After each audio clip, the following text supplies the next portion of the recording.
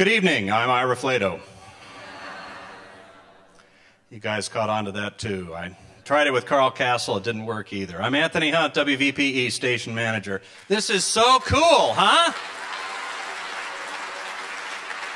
I, you know what? In fact, in fact, here, everybody smile. Let's, what we got? Okay, great. We'll put this on the Facebook page. You know, we're not normally a visual medium, so it's kind of hard to. That'll be good. All right. You know, uh, we work really well together as a good partner, and I wanted to say thanks to all of you who helped uh, us have a really successful pledge drive uh, that we just finished, and uh, we're really excited to be working in particular here with uh, a fabulous organization that's helping bring these folks here. So let's bring out the Dean of the College of Science, Mr. Greg Crawford.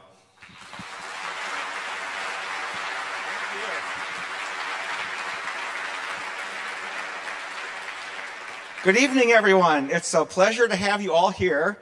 We have a full house, and we're very excited about tonight's event. Uh, the College of Science is celebrating 150 year anniversary this year, and so this was a perfect event to actually kick off this celebration that's been going on all week.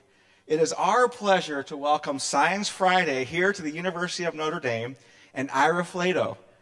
As you guys know, uh, it's, uh, it's a, wonderful, a wonderful group that presents science to everybody around the world, uh, lay people and scientists, and everyone's listening about how science and engineering are solving big problems of our time. And so we're very honored to have them here and to bro- uh, live broadcast this tonight and, and show and interview a few of the Notre Dame scientists and some other folks that are here in town. So we're very, very excited. As you know, Ira is a sort of a world renowned radio show celebrity. He's a recipient of many, many awards, the most recent one, the Isaac Asimov Award. And in addition, many of you have probably seen Ira on uh, the, the hit sitcom series of Big Bang Theory and uh, he's not just a great radio caster, but he's also wonderful and very funny. We are so happy to have them here, and the crew has worked all day. And I just wanted to just give, if you guys give a big round of applause for Science Friday. There was eight of them here, and they were.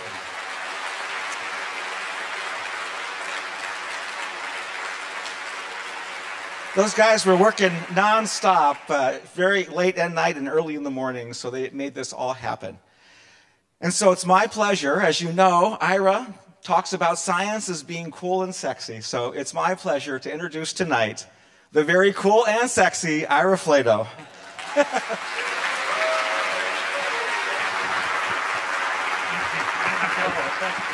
Thank you, Dean. Thank you, everybody. Thank you, Dean. Thank you very much. I don't know about being cool and sexy, but I have a face for radio, as they say. So I'm very happy to be here. Thanks. Another round of applause for Dean Crawford. Let's. They, you guys have been so welcoming. We're so happy to be here. WVP, the university, have made us feel very much at home. We got a full tour of the campus. We got into the locker rooms back there in the football team. Uh, we got to play on the AstroTurf a little, although it's not AstroTurf really, the new modern stuff. We got a great tour. We have, uh, we've been very happy to be here. You know, we only choose to go to about four places all year long on our, on our road trips, and we're very happy to select and have to be, have been selected by WVP and the university to come here. And we're going to have a great show tonight. A lot of fun things that are happening. We have the Glee Club here. We're going to. I, I, we never had a glee club singing live on Science Friday. We've had all kinds of, you know, acts, but never a real glee club. They're going to sing a few songs for us tonight. To, uh, to start us off, we're going to have Dan Stowe and the Notre Dame Glee Club will be pitching in with music throughout the snow, and they're going to kick us off with Tom Lehrer's The Elements. Dan, take it away.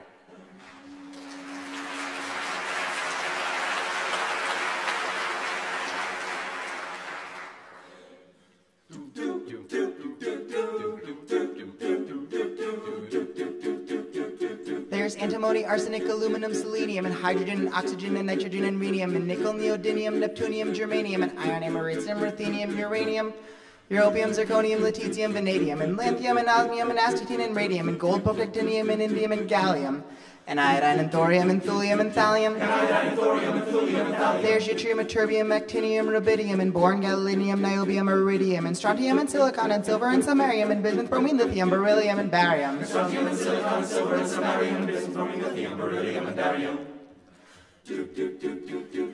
There's holmium and helium and hafnium and erbium and phosphorus and francium and fluorine and terbium and, and manganese and mercury, molybdenum, magnesium, dysprosium and scandium and cerium and cesium, lead, praseodymium and platinum, plutonium, palladium, promethium, potassium, polonium and tantalum, technetium, titanium, tellurium and cadmium and calcium and chromium and curium.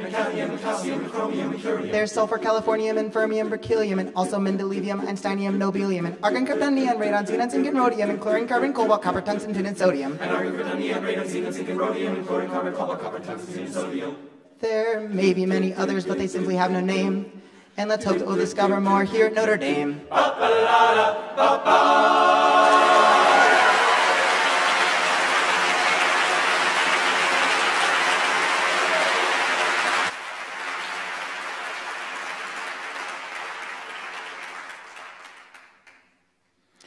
This is Science Friday. I'm Ira Flatow. We're here at the Notre Dame DeBartolo Performing Arts Center in South Bend, Indiana. And you know, we, we talk a lot about bacteria on Science Friday if you listen to our show. They're everywhere. It, there- there's no escaping, escaping them. They're, they're fermenting your beer, they are producing antibiotics, they're controlling your gut. These bacteria in our gut, we call the microbiome, are big news these days, especially if you listen to Science Friday. We talk about it all the time. There's anxiety, obesity, cancer. The microbiome has a role in all of these diseases. But bacteria are also very active in the soil, and understanding them is part of uh, a new frontier of plant biology in soil and plant biology. My next guest is researching the plant microbiome. Jeanne Severson is a professor of biology at the University of Notre Dame in South Bend, Indiana. Welcome to Science Friday. Thank you.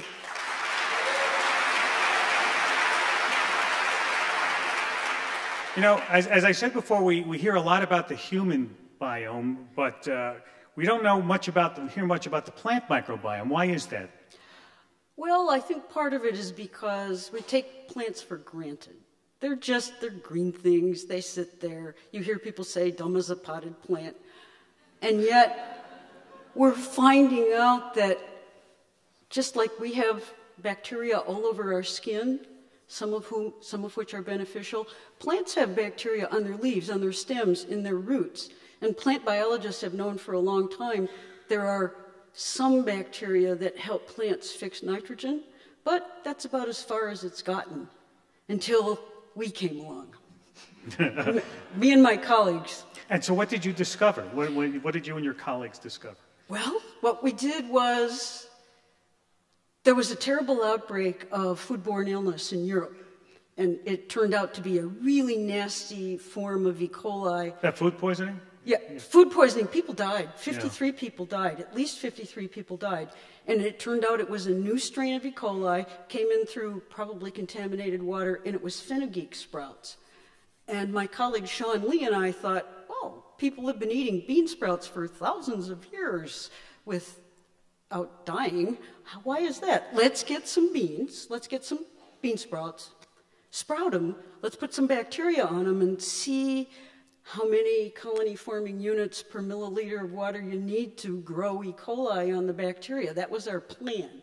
Uh huh. But it didn't work, like, work out like that. Serendipity somewhere stepped in. There was, because as good scientists, Sean is a microbiologist, uh, me as a plant biologist, and Josh Shrout as an engineer, we all knew you have to have a control, right?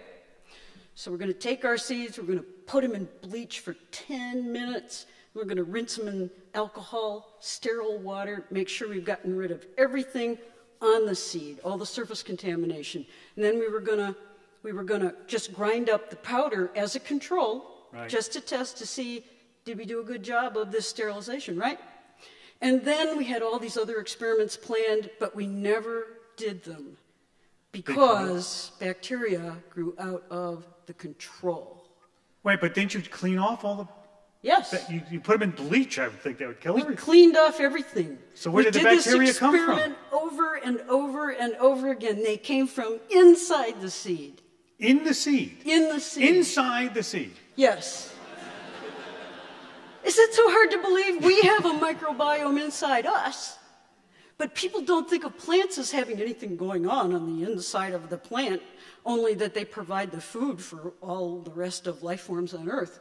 But they have inside the seed, it took us almost two years to prove to ourselves that this was really true. And it's really true. We isolated a bacteria.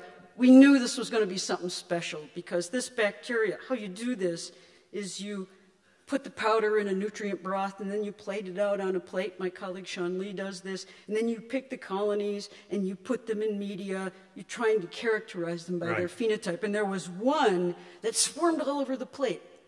Wow. It had a behavior we've never seen before. That, that one.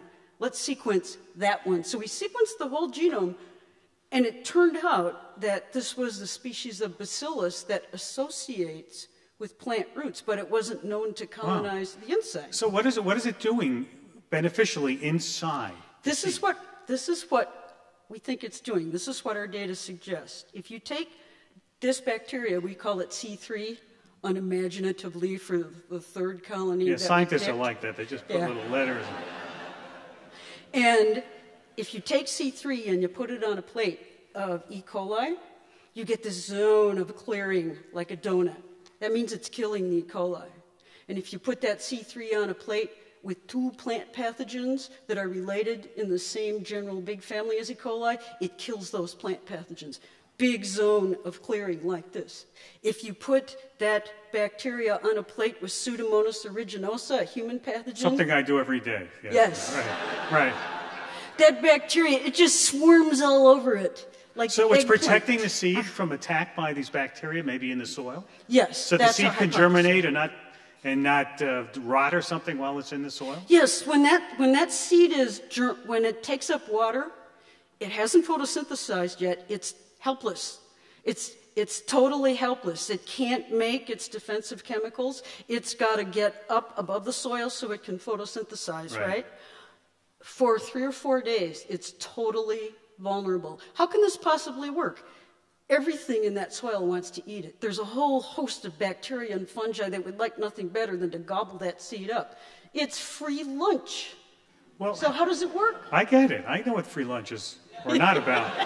um, but so does this? How does the bacteria get in the seed originally, so that you find it there? So what we did to show that is plant microbiome action, uh, plant microbiome interactions are difficult because if you grow the plant in dirt, there's thousands of other things in dirt. It's hard to pin anything down. So what we did was surface sterilize our seeds, put them on filter paper, and put a little shot of the C3 bacteria in the water that the plants took up.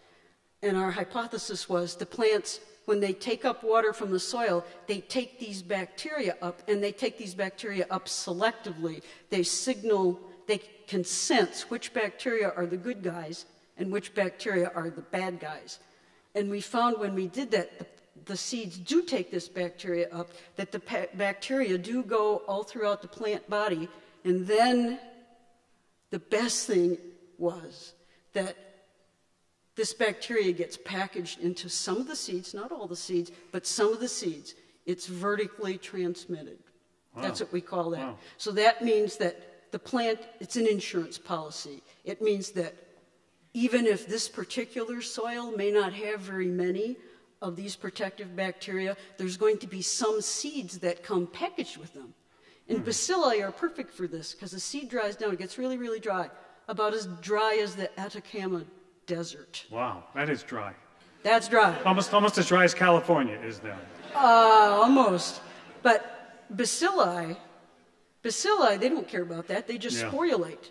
And in that spore, they can put up with dry, they can put up with radiation, like a little space capsule. They are. They are. You know, I was a judge on the Google Science Fair this year, and there were three teenage women whose project this year looked something exactly like this. They were dusting cereal grain seeds with bacteria that they found in the soil, and they, the crops sprouted weeks early, and uh, the yields were increased by up to 75%.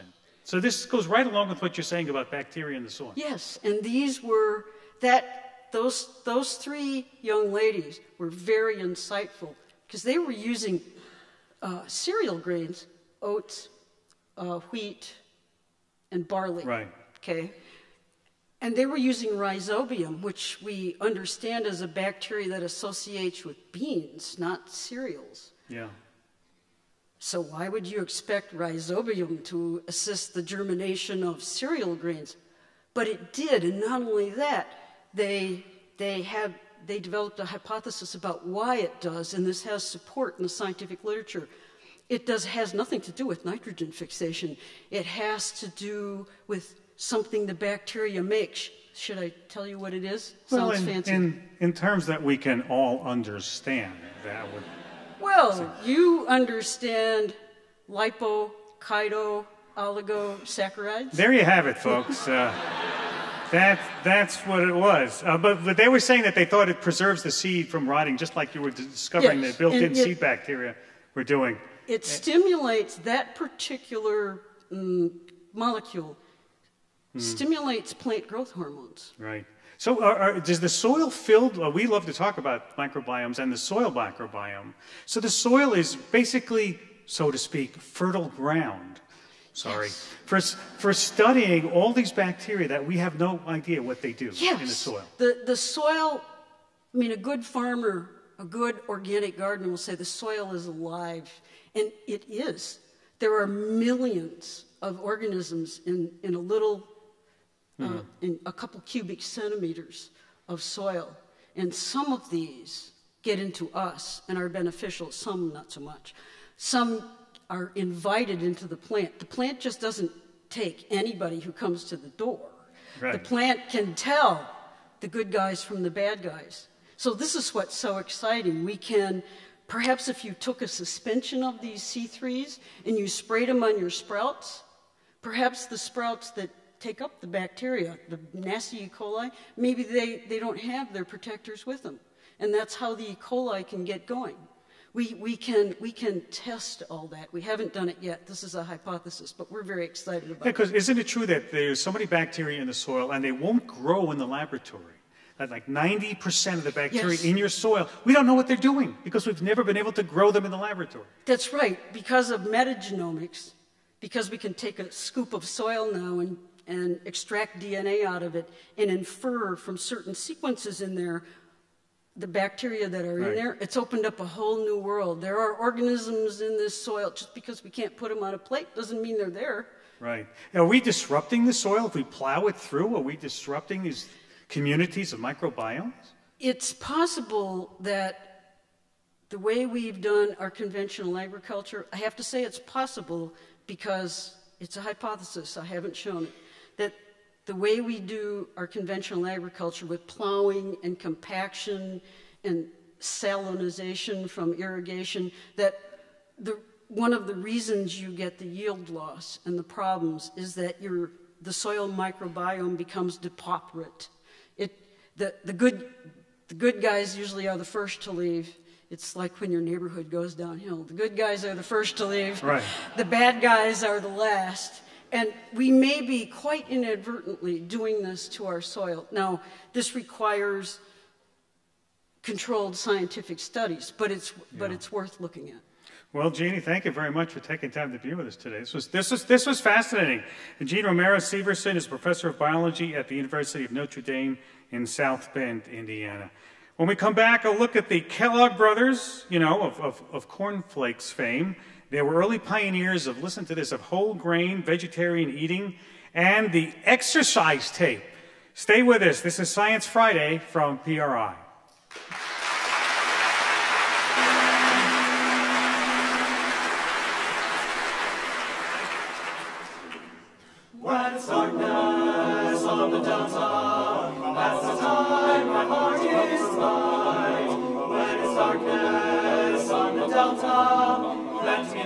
In the shelter of the night. Fields of cotton all around me. Voices singing soft and low. Lord, I'm lucky that you found me where the mighty Mississippi waters flow. Lounging on the levee, listening to the nightingale. Way up above. Above, laughter on the levee, no one's heart is heavy. All God's children got someone to love. When darkness on the downtown, only heaven is inside. When it's darkness on the downtown, let me linger in the shelter of the night. Oh, let me linger in the shelter of the night.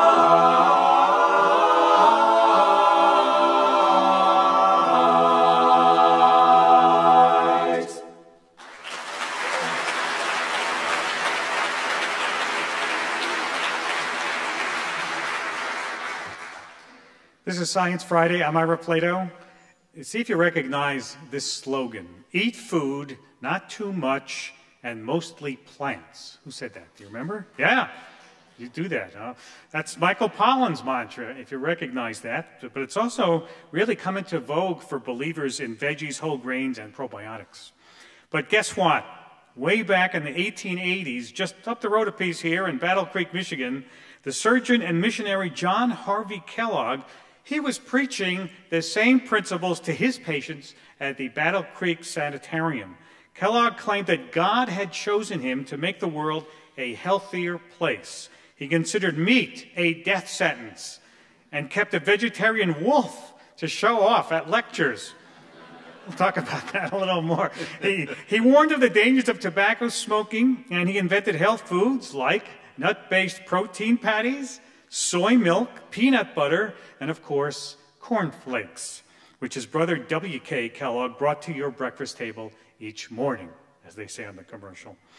Science historian Howard Markel is here to give us the story of these two visionary brothers and their innovations in wellness long before science caught up with them.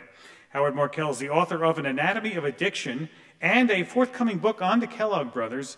He's also professor and director of the Center for the History of Medicine at the University of Michigan in Ann Arbor. Welcome back to Science Friday. It's great to be here, Ira. Thank you. Thank you.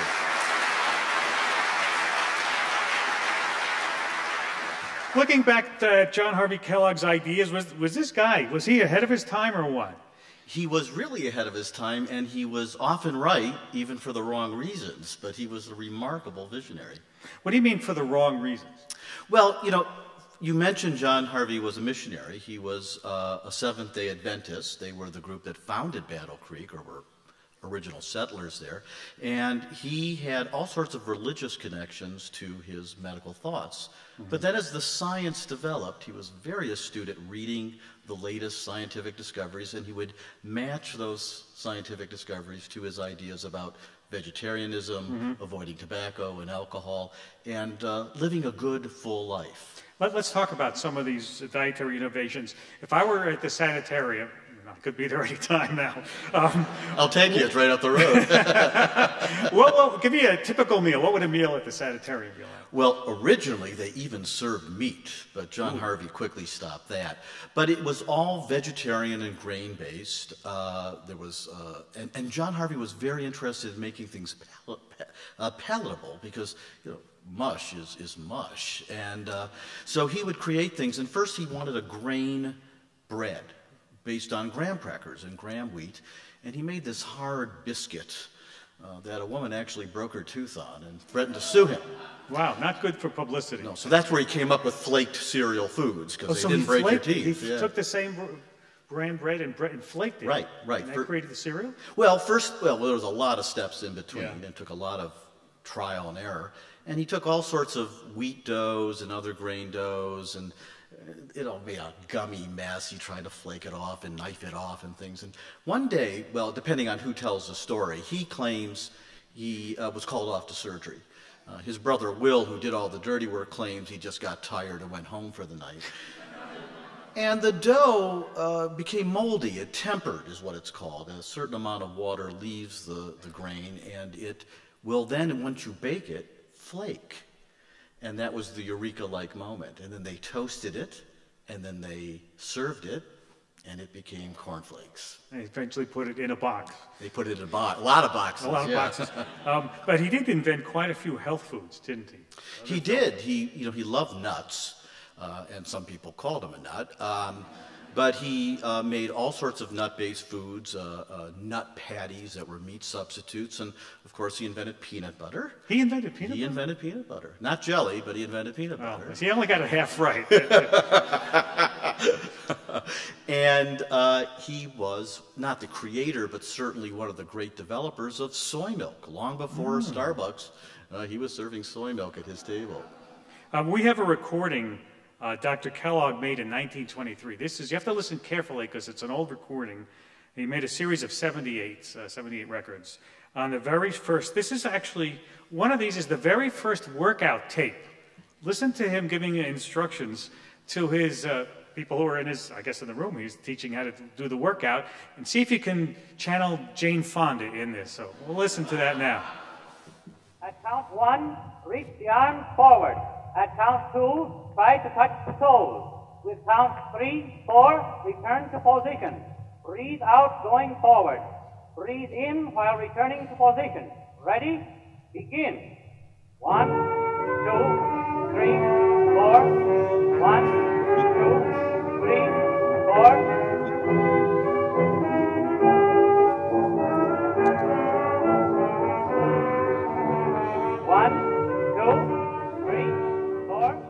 So was this a big hit, that these series of 78s? Uh, Well, I much prefer Jane Fonda, but, uh, but it was a big hit, and I have the album. I bought it on eBay. It's about 1278 RPMs, and uh, it probably was the first, uh, it was an exercise record, but it was the first exercise tape. And he, he loved uh, brass music, and you hear that band music. And in fact, at the sanitarium, he would lead all of the patients in a grand march and breathing exercises every day at 6 p.m. wow. And, and, and he was also an inventor. He made something called the, the lumbar chair. He did. It was an ergonomic chair, and it had that little lumbar bump.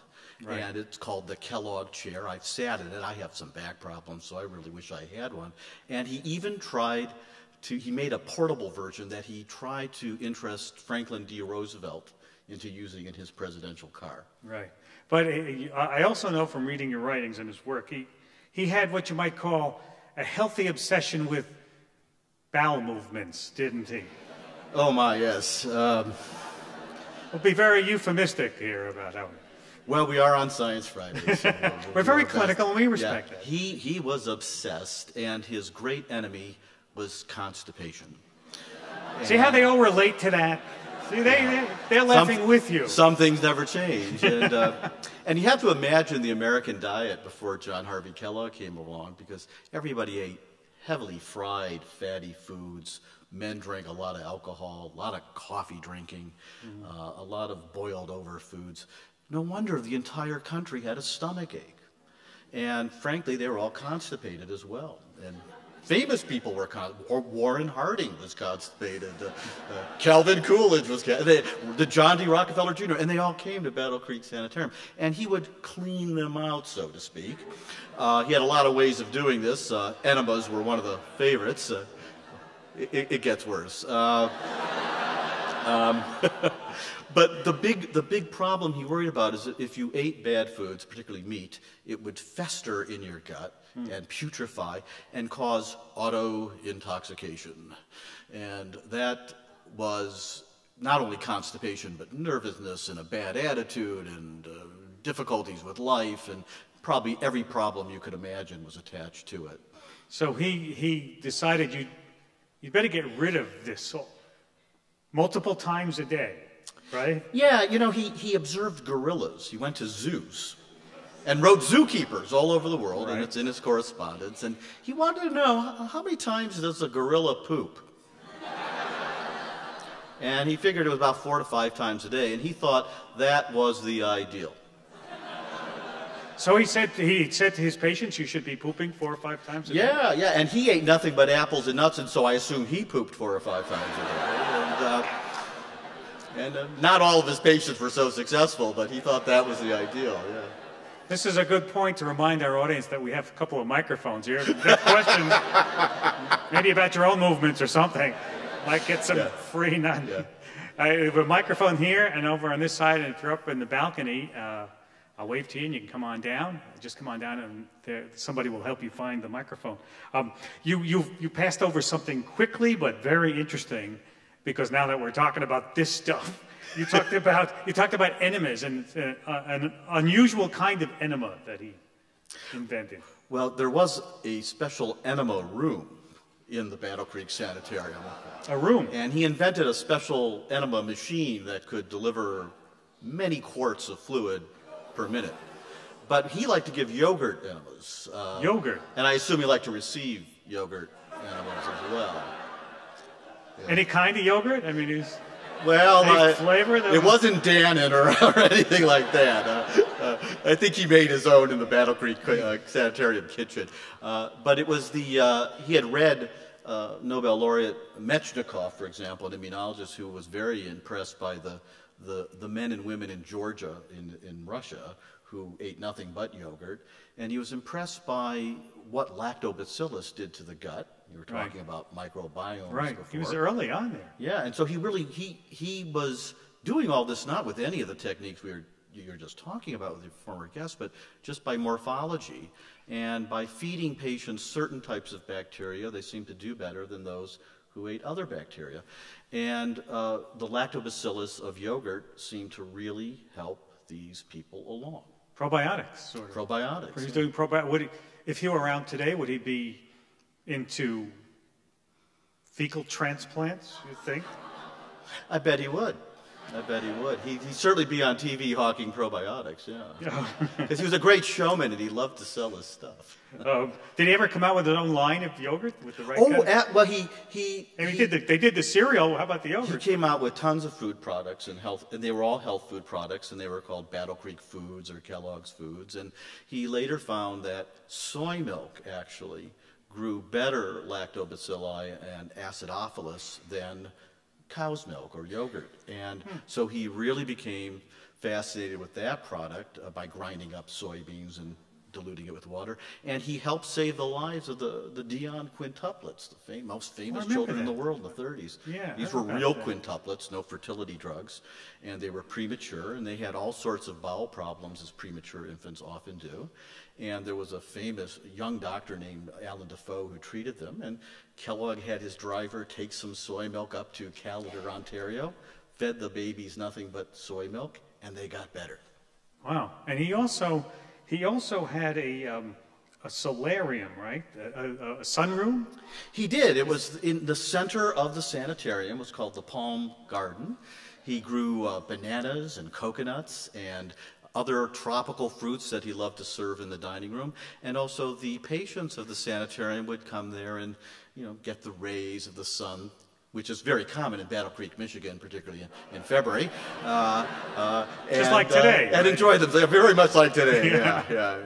yeah. Um, and so there were a lot of he got he got the real moneyed and intelligentsia of the of the country came there, right? Absolutely, absolutely. I mean, he, he attracted you know thousands and thousands of people, but he was very good uh, at attracting famous people because he gave them free room and board.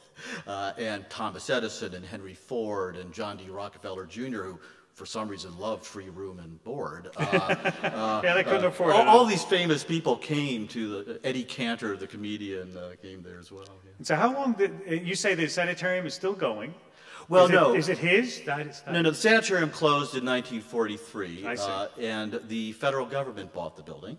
Uh, it is still there. It is a federal government building. It's the Hart, Dole Hart Inouye Federal Center.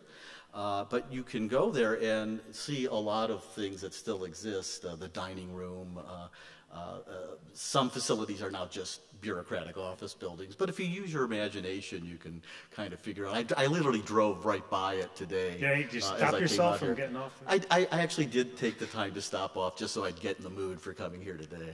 What what what impressed you most about your research about the Kellogg's? What was what was the thing that struck you the most? Was it their entrepreneurial spirit? Was it the fact that they were, you know, before their time, where- they would be at home today, in the way we think about uh, healthful eating? well, two things. Uh, Certainly, it's the invention of wellness, and that's really uh, one, actually three things. We'll take that. But the idea that John Harvey and his brother Will were raised in a very re- religious background, and how religion as an authority changed in the 19th century to science in the 20th century. Their work really represents that. And then finally, uh, both the brothers, John Harvey the doctor was brilliant for all the reasons we just discussed, but Will was the one who made that cereal company hum. Wow. And that's no easy task. And he was brilliant as the great cereal king of the world. Just read it on the box. I'm Ira Flatow. This is Science Friday from PRI, Public Radio International. That-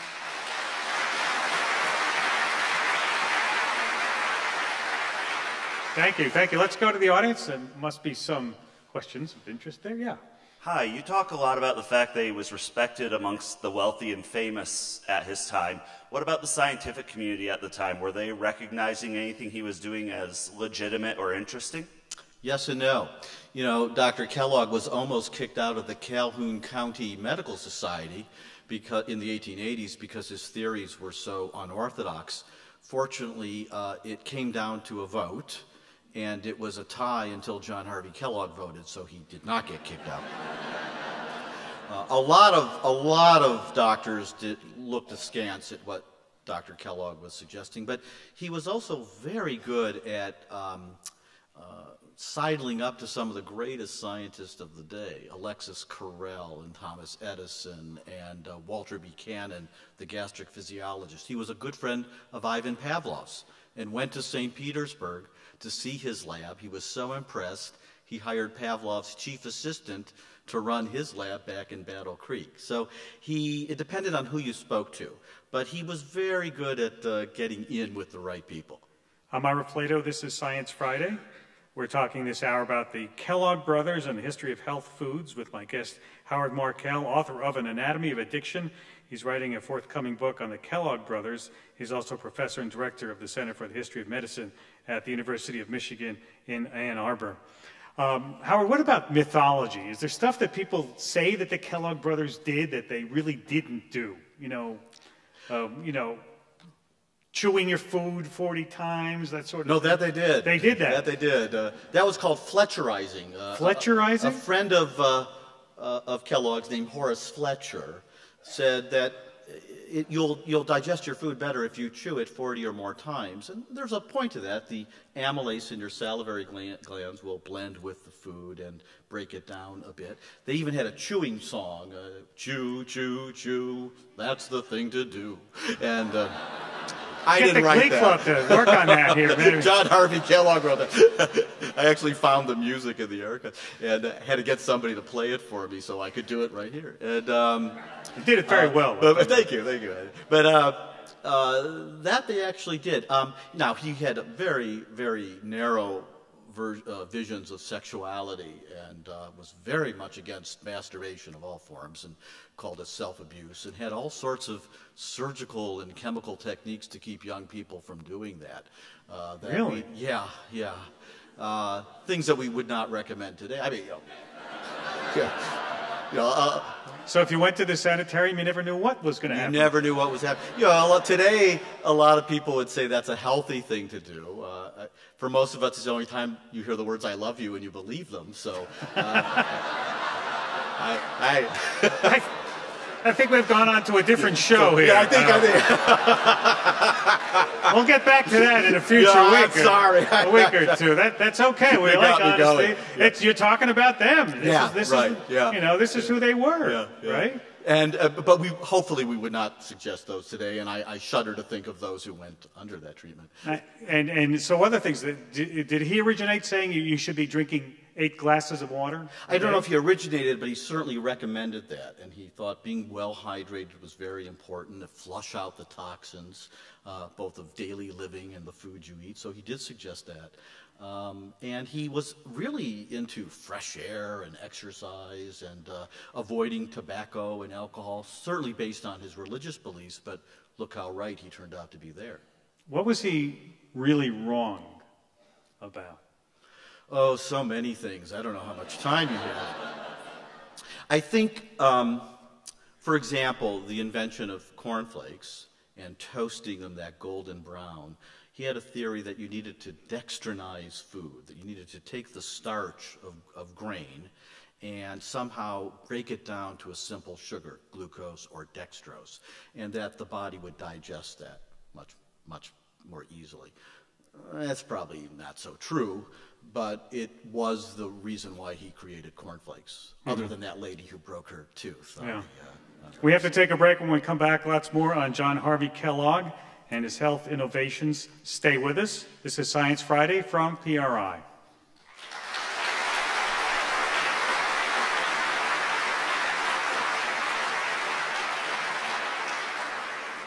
This is Science Friday. I'm Ira Flatow. We're talking this hour about the Kellogg brothers and the history of health foods with uh, Howard Markel, author of An Anatomy of Addiction. We have a question in the audience. Ah, let's go right over there. Uh, yes. So I was, I was wondering. Uh, this, this sort of reminded me of, of the of the movie Road to Wellville. Uh, hearing some of this story. Um, have you seen that, and how well does that, that film capture? capture I, some I have seen it, and it's based on a wonderful novel. By Tell us about it. People haven't Well. T.C. Boyle wrote a wonderful novel called The Road to Wellville. The Road to Wellville, by the way, is a little, little footnote, was actually an advertisement that C.W. Post of Post Toasties used. Rival. Had nothing to do with, yeah, with the Kellogg's hated the Post. Uh, because C.W. Post basically stole all their recipes. He was a, he was a, a, a patient at the sanitarium and stole all Was that how that happened? and then made Post. Yeah, yeah. I, I hope there's no Post employees in the audience. Well, their lawyers might be here. So, uh, But anyway, The Road to Wellville is a wonderful novel, and Boyle did wonderful research. And he then blends it with a lot of imagination uh, of things that are invented. And uh, that would take a, another hour to explain. But as a historian, I, I think the real story is even better. But uh, there's a lot of things in the, in, the, in the Boyle novel and the movie that ring very true. it's a good question. Thank you. Yes, sir. Next. Based on your research uh, into the book for your book, would you say that um, Kellogg was using his celebrity and his association with the celebrities to support his research, or was he using his research to associate with the celebrities? A little both. And he really, both he and his brother understood very early on in the early 20th century the power of celebrity and the power of advertising. Uh, Dr. Kellogg was very good at recruiting patients to his sanitarium and loved to hobnob with famous people. He was also very famous himself. He, in 1943, he was voted one of the most admired men in America. And he wrote you know, dozens of best selling books, so he was quite famous in his own right. But he very quickly understood the power of uh, a celebrity endorsement. Uh, and worked very hard. If you read his correspondence, and there's boxes and boxes of them in Ann Arbor, Michigan, where I live, uh, that uh, he's very carefully courting people and giving them free samples of his foods and inviting him to his sanitarium uh, for visits. If he was that popular and he was on covers of magazines and, uh, and, and, and lauded, why did his theories not catch on more with the general public? The whole thing about probiotics, eating well, don't eat, not eating red meat, which America is a, is a meat and potatoes country. Yeah, yeah. What, ha- what happened? It That's just- a really good question. I, I think he was sort of shunted to the side as this, you know, kind of friendly old vegetarian guy, uh, grain guy, as opposed to the rise of the physician and medical science Yeah. and the laboratory. And he really was an old school doc. I mean, he was born in 1852 and he lived to, to about 1943. But he was sort of pushed aside and almost laughed at uh, near the end of his life. And we probably should have listened more closely. One of the uh, one of the techni- techniques I mentioned at the beginning, we, we were going to talk about the wolf story. Ah, the Before we go, tell us tell us the wolf story. The wolf stories He's are great one. cackling about the wolf. Well, John Harvey Kellogg loved animals of all kind, uh, and uh, he caught a wolf uh, on the sanitarium grounds. Uh, this was many years ago, and uh, he fed the wolf nothing but vegetables and grains. And the wolf became very docile and friendly. And his, you know, John Harvey Kellogg had 42 adopted children. He never had any of his own, but he had, and the children loved the wolf. They, they played with the wolf and they frolicked with the wolf. And, and so John Harvey Kellogg would have an, a, weekly lecture for his sanitarium guests. It was a big deal. It was called the Question Box Hour, and guests would ask questions like they are tonight. And he brought this wolf out in a ironclad cage and started feeding the wolf meat. He had done this a few days before. Now, some say he starved the wolf before uh, the lecture, but as he fed the wolf more and more beefsteak, the wolf became more uh, wolf like and more scary. And he said, You see, this is what happens when you eat meat. If you if you eat like an animal, you are an animal. And, and he was really saying, you know, you are what you eat. And uh, it was a really very powerful uh, uh, uh way to show that off. Yeah. Now, I think before we go, we might have one time for one question from the audience. Yes, sir. Henry Ford was known to uh, want to serve guests at his house, everything made of soy. Yes. Was Henry Ford an influence on, on Kellogg in this way or the other way around? Well, it depends on where you go. If you go to the Henry Ford Museum or you go to the Ann Arbor, uh, uh, Kellogg claims he introduced Henry Ford to the soybean. Ford says the opposite. But in fact, Henry Ford uh, used sent his chef to the Battle Creek Sanitarium to learn how to cook the Kellogg way. But they both shared that uh, fascination with the soybean. Uh, Henry Ford, not only in terms of eating it, but making all sorts of products uh, knobs and accelerator uh, uh, buttons and so on for his automobiles. So they shared that love of the soybean, yeah. Well, fascinating, Howard. Thank you. Howard Markel is author of the forthcoming book on the Kellogg brothers. We should look for that soon. Yeah, wait a while. I hope I get it done. I'm, traveling here all the time. I don't know where I am at the time. So he's also professor of uh, director of the Center for the History of Medicine at the University of Ann Arbor. Thanks. Good to see you. Thanks again, so much. It's great to be here.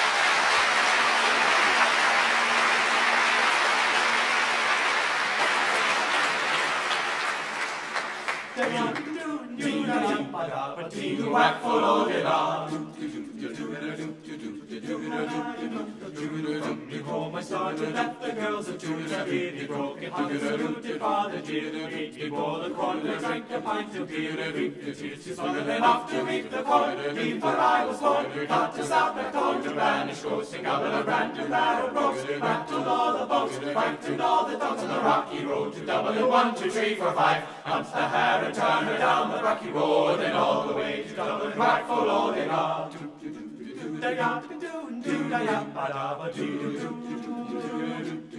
in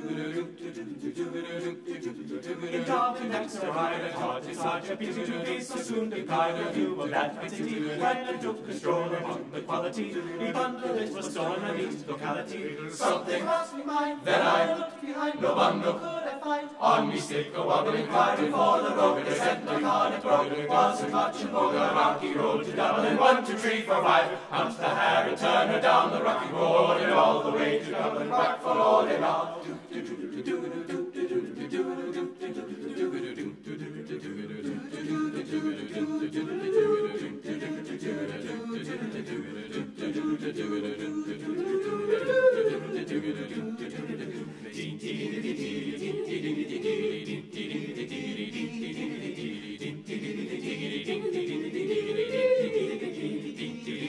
Whack for loading on. The boys of Liverpool, when we safely landed, called me a fool. I could no longer stand it, but began to boil. The temper I was losing for all their entire day began abusing the rocky boys as I shall lady. So now my boys were by and I was with array. They joined in the affray. Quickly made the way from the rocky road to Dublin. One, two, three, four, five. Hunt the hare and turn her down the rocky road and all the way to Dublin. One, two, three, four, five. Hunt the hare and turn her down the rocky road and all the way to Dublin for Lord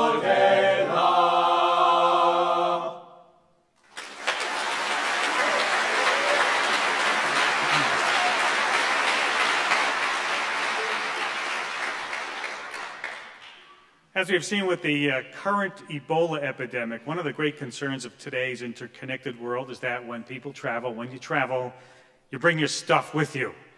And not only the microscopic organs that cause human disease, but also the in invasive species, you know, the stuff that gets stuck on the props of your boat or your rudder, stuff like that, and you take it with you, you go to the next lake. Well, here in the Great Lakes region, at least 186 hitchhiking species have arrived. You've got your zebra and your quagga mussels, your rusty crayfish and bloody red shrimp. And as for the Asian carp, you keeping track of that? Well, yeah. It's knocking on the Great Lakes door somewhere down in the Mississippi. My next guest is something of an invasive species detective because he uses DNA to track new arrivals and crunching numbers to see which potential invader could do the most harm. David Lodge is director of the Environmental Change Initiative here at the University of Notre Dame. Welcome. Welcome to Science Friday. Thank you. Happy to be here.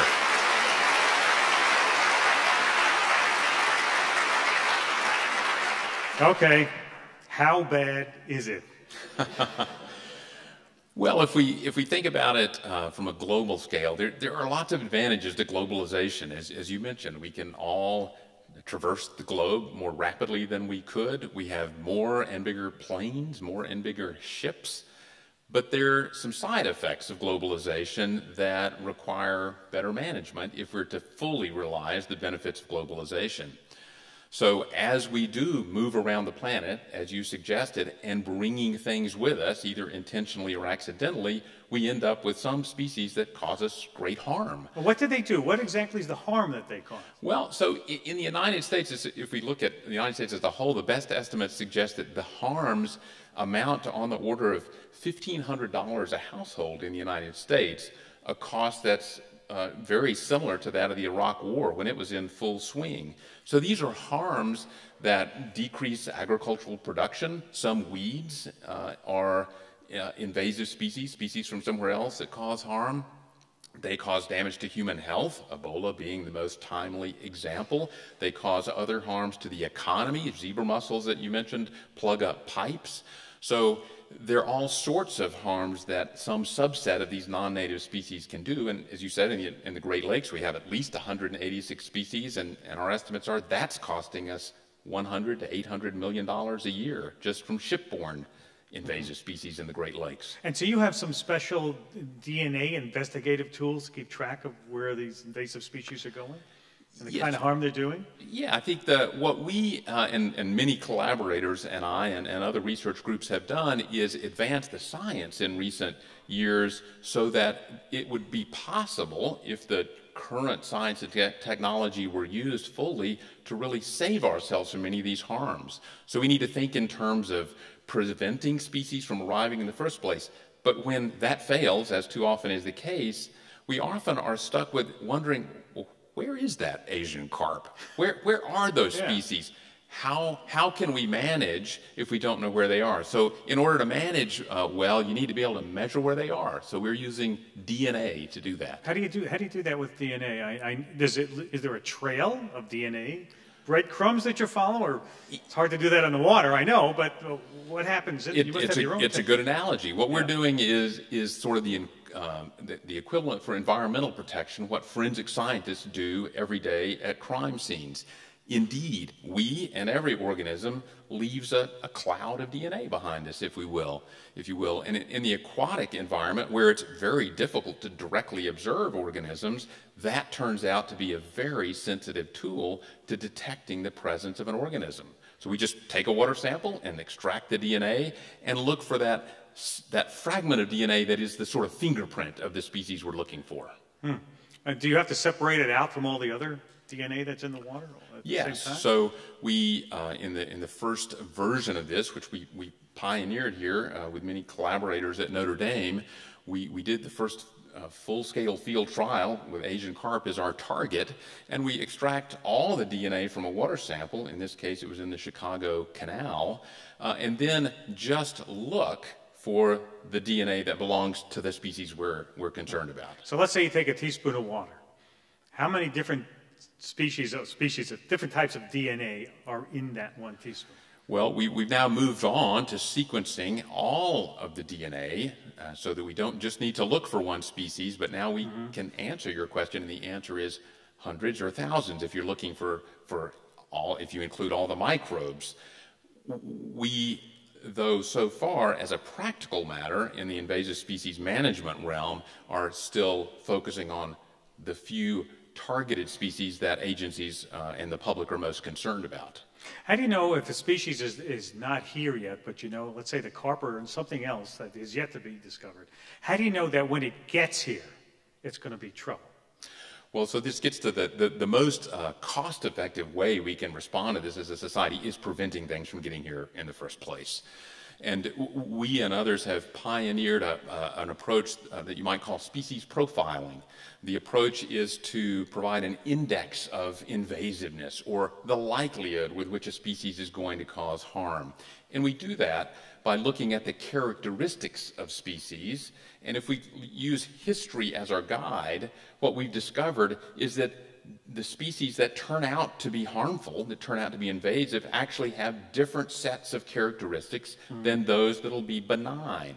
So we can use those now, and agencies are, are, increasingly using those, including some national governments elsewhere in the world, to screen species that are proposed for importation and then gain the benefits of commerce, say in the horticulture trade or the pet trade, by allowing the species that won't cause harm to come yeah. into trade and only preventing or, uh, or otherwise managing species that would be harmful. I'm Ira Flatow talking with David Lodge, Director of Environmental Change Initiative here at the University of Notre Dame on Science Friday from PRI, Public Radio International. How, uh, when the species get here, or invasive species get here, um, do they do they gang up against us, or do they use one another to help each other out? Is, is that a problem? Can uh, sometimes that happens. Uh, there's no particular reason to expect that that would uh, always be the outcome, but the Great Lakes uh, do provide some examples of that. And one of the reasons is that many of the invasive species, particularly those that have been brought by ships into the Great Lakes, like zebra mussels and quagga mussels, have come and been, if you will, reunited with species that they evolved with and ecologically interacted with in the regions of, uh, of Eurasia where they originally came from. So quagga mussels and zebra mussels are now consumed by round gobies and, uh, in, the, in the Great Lakes. Round gobies and quagga and zebra mussels coexist in their native range, and now they coexist in the Great Lakes. So they're all thriving together uh, and in some cases exacerbating the problems that each would have caused individually. Is there one great one of the Great Lakes that's in worse shape from the, than the others? Is... It, it's perhaps easier to say which one is in the best shape. Okay, um, we'll take it. Uh, take Lake it Superior, uh, we can be happy, is relatively untouched. Um, Lake Erie is perhaps at the other extreme, having suffered from a great many invasive species, but also from a, a number of other insults that interact with invasive species, with, for example, the the, the, the, terrible occurrence of harmful algal blooms of, of cyanobacteria, toxin producing cyanobacteria in western Lake Erie that caused the shutdown of Toledo's water system mm. for three days. Is that because it's one of the smaller lakes, the shallower lake? It's, it's... It is the shallowest of the yeah. five Great Lakes, and it is the warmest and it is the most productive. So um, there, there are more things in the world that can be happy in Lake Erie than can be happy in Lake Superior. I remember when um, we had a mild winter and I went to school in Buffalo and I keep track of Lake Erie a lot. I know, a lot of scientists up in the Great Lakes regions. And he said, uh, you know, this is the first winter on record that none of the Great Lakes froze, or none of the lakes even in western New York froze. And we don't know what's going to crawl out in the spring. so I, I, hear what you're talking about. Yes, and, and Lake Erie uh, is, to continue that, that, the answer to the question about in, interaction, sort of meltdown of invasive species. This interaction between zebra mussels and quagga mussels and round gobies has also been implicated in increases in botulinum poisoning of waterfowl hmm. in Lakes Ontario and Lake Erie. Let's go. Do we have a question? Uh, yes, we do have a question down here in the audience. Please don't be afraid. Come on down. What happens is no one wants to come down, then everybody wants to come down. We don't have time. Yes, ma'am. I have a question back to the eDNA studies that you've been doing, and I'm curious if we're getting any closer to knowing if DNA is present in the water that you test. Does that mean the species is present right there? Would it be miles away? How long does the eDNA last in the environment? How close are we to getting some of those answers? This was initially quite controversial because we didn't know the answers to many of those questions. But in the last couple of years, we have learned those answers through experiments and observations. And in general, we believe that when DNA is detected, it's quite a reliable indicator of the presence of a living organism nearby in the not too distant past. For example, the DNA we've discovered that under the normal conditions in surface waters where we sample them, it, it degrades, it becomes undetectable in a matter of hours to days after the Mm. organism, the fish, for example, is removed. So it's a signal that is almost real time. Is there an invasive species that you're actually tracking now to make sure that it doesn't doesn't get here? Well, the Asian carps that we mentioned earlier are two very closely related species that um, we began tracking in uh, coordination with federal and state agencies uh, in about 2009. We've using eDNA. Uh, we have since um, sort of handed that off to the federal and state agencies, and they continue to track the northward advance of Asian carps through the Chicago Canal from the Mississippi River. How about those electric fences they supposedly? Um, the, the electric fences are, are one of the management tools that have been used to try to slow down. You sound like a politician carp. now. Sorry about They, um, How they're, they're not, are they, they are not 100% effective. you can look online and see a video of uh, small fish swimming through the electric current. Ooh, and those means the strongest ones are getting through there.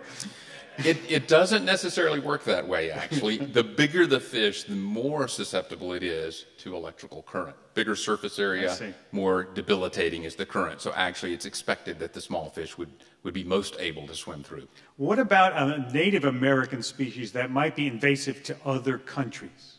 Are there any like that that come to mind? Are we, are we exporting some species that are going abroad? You know, I talked about globalization to begin with. Th- th- This movement of species is very definitely a two-way street. We hear a lot in this country, not only in the Great Lakes region, about Asian species. Well, why is that? Because we have a lot of trade with Asia.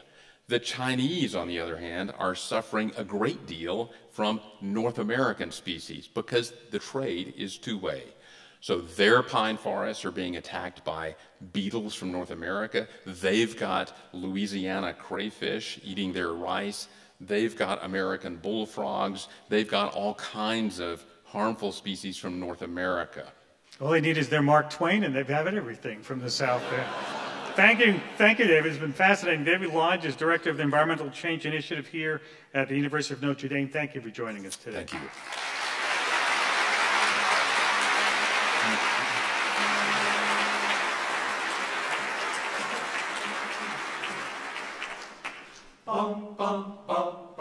Attention, please. May I have your attention, please? My friends, you got trouble. Right here, I say trouble right here in River City. Why, sure, I'm a fisherman, certainly mighty proud to say it.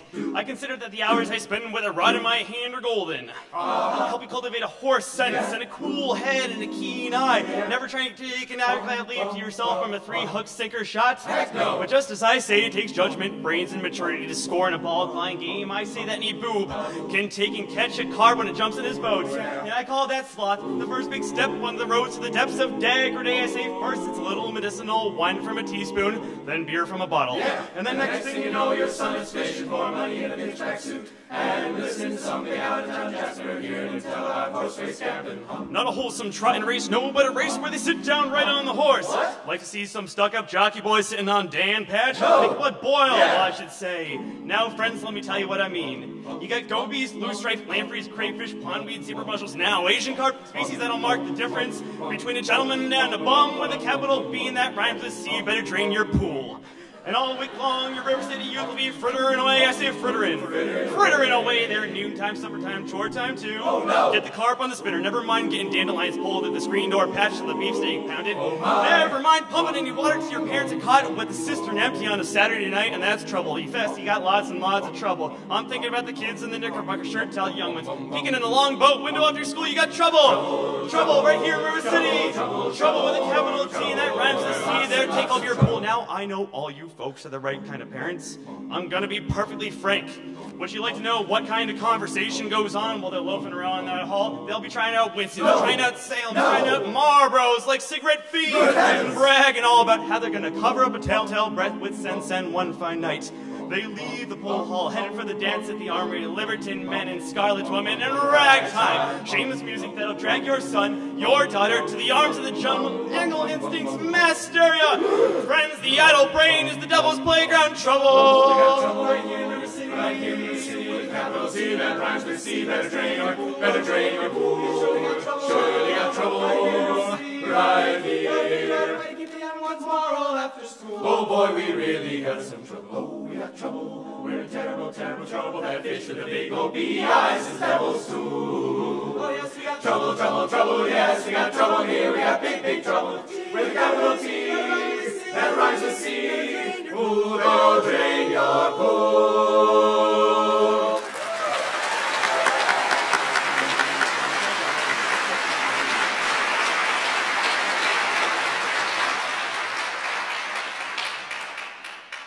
This is Science Friday. I'm Ira Flatow here at uh, Notre Dame's DeBartolo Performing Arts Center in South Bend, Indiana. Last year, Americans, Americans bought 96,000 plug-in electric cars. You ever anybody buy a plug-in electric car? Yeah? Um, that's nearly twice as many as was sold the year before.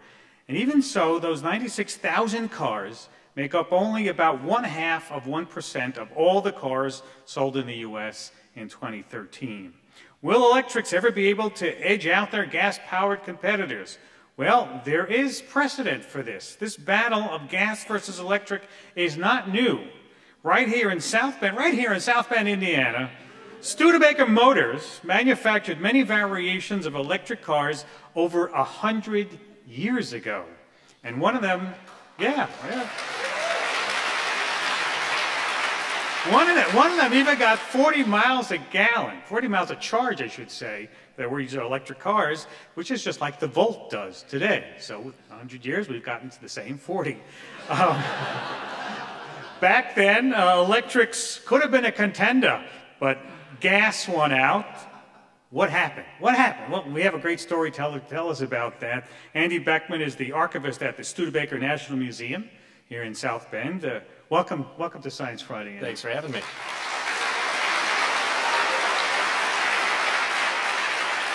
All right, let's turn the clock back to the 1800s. Talk about what was going on at Studebaker. They were, they were making carriage horses first, right?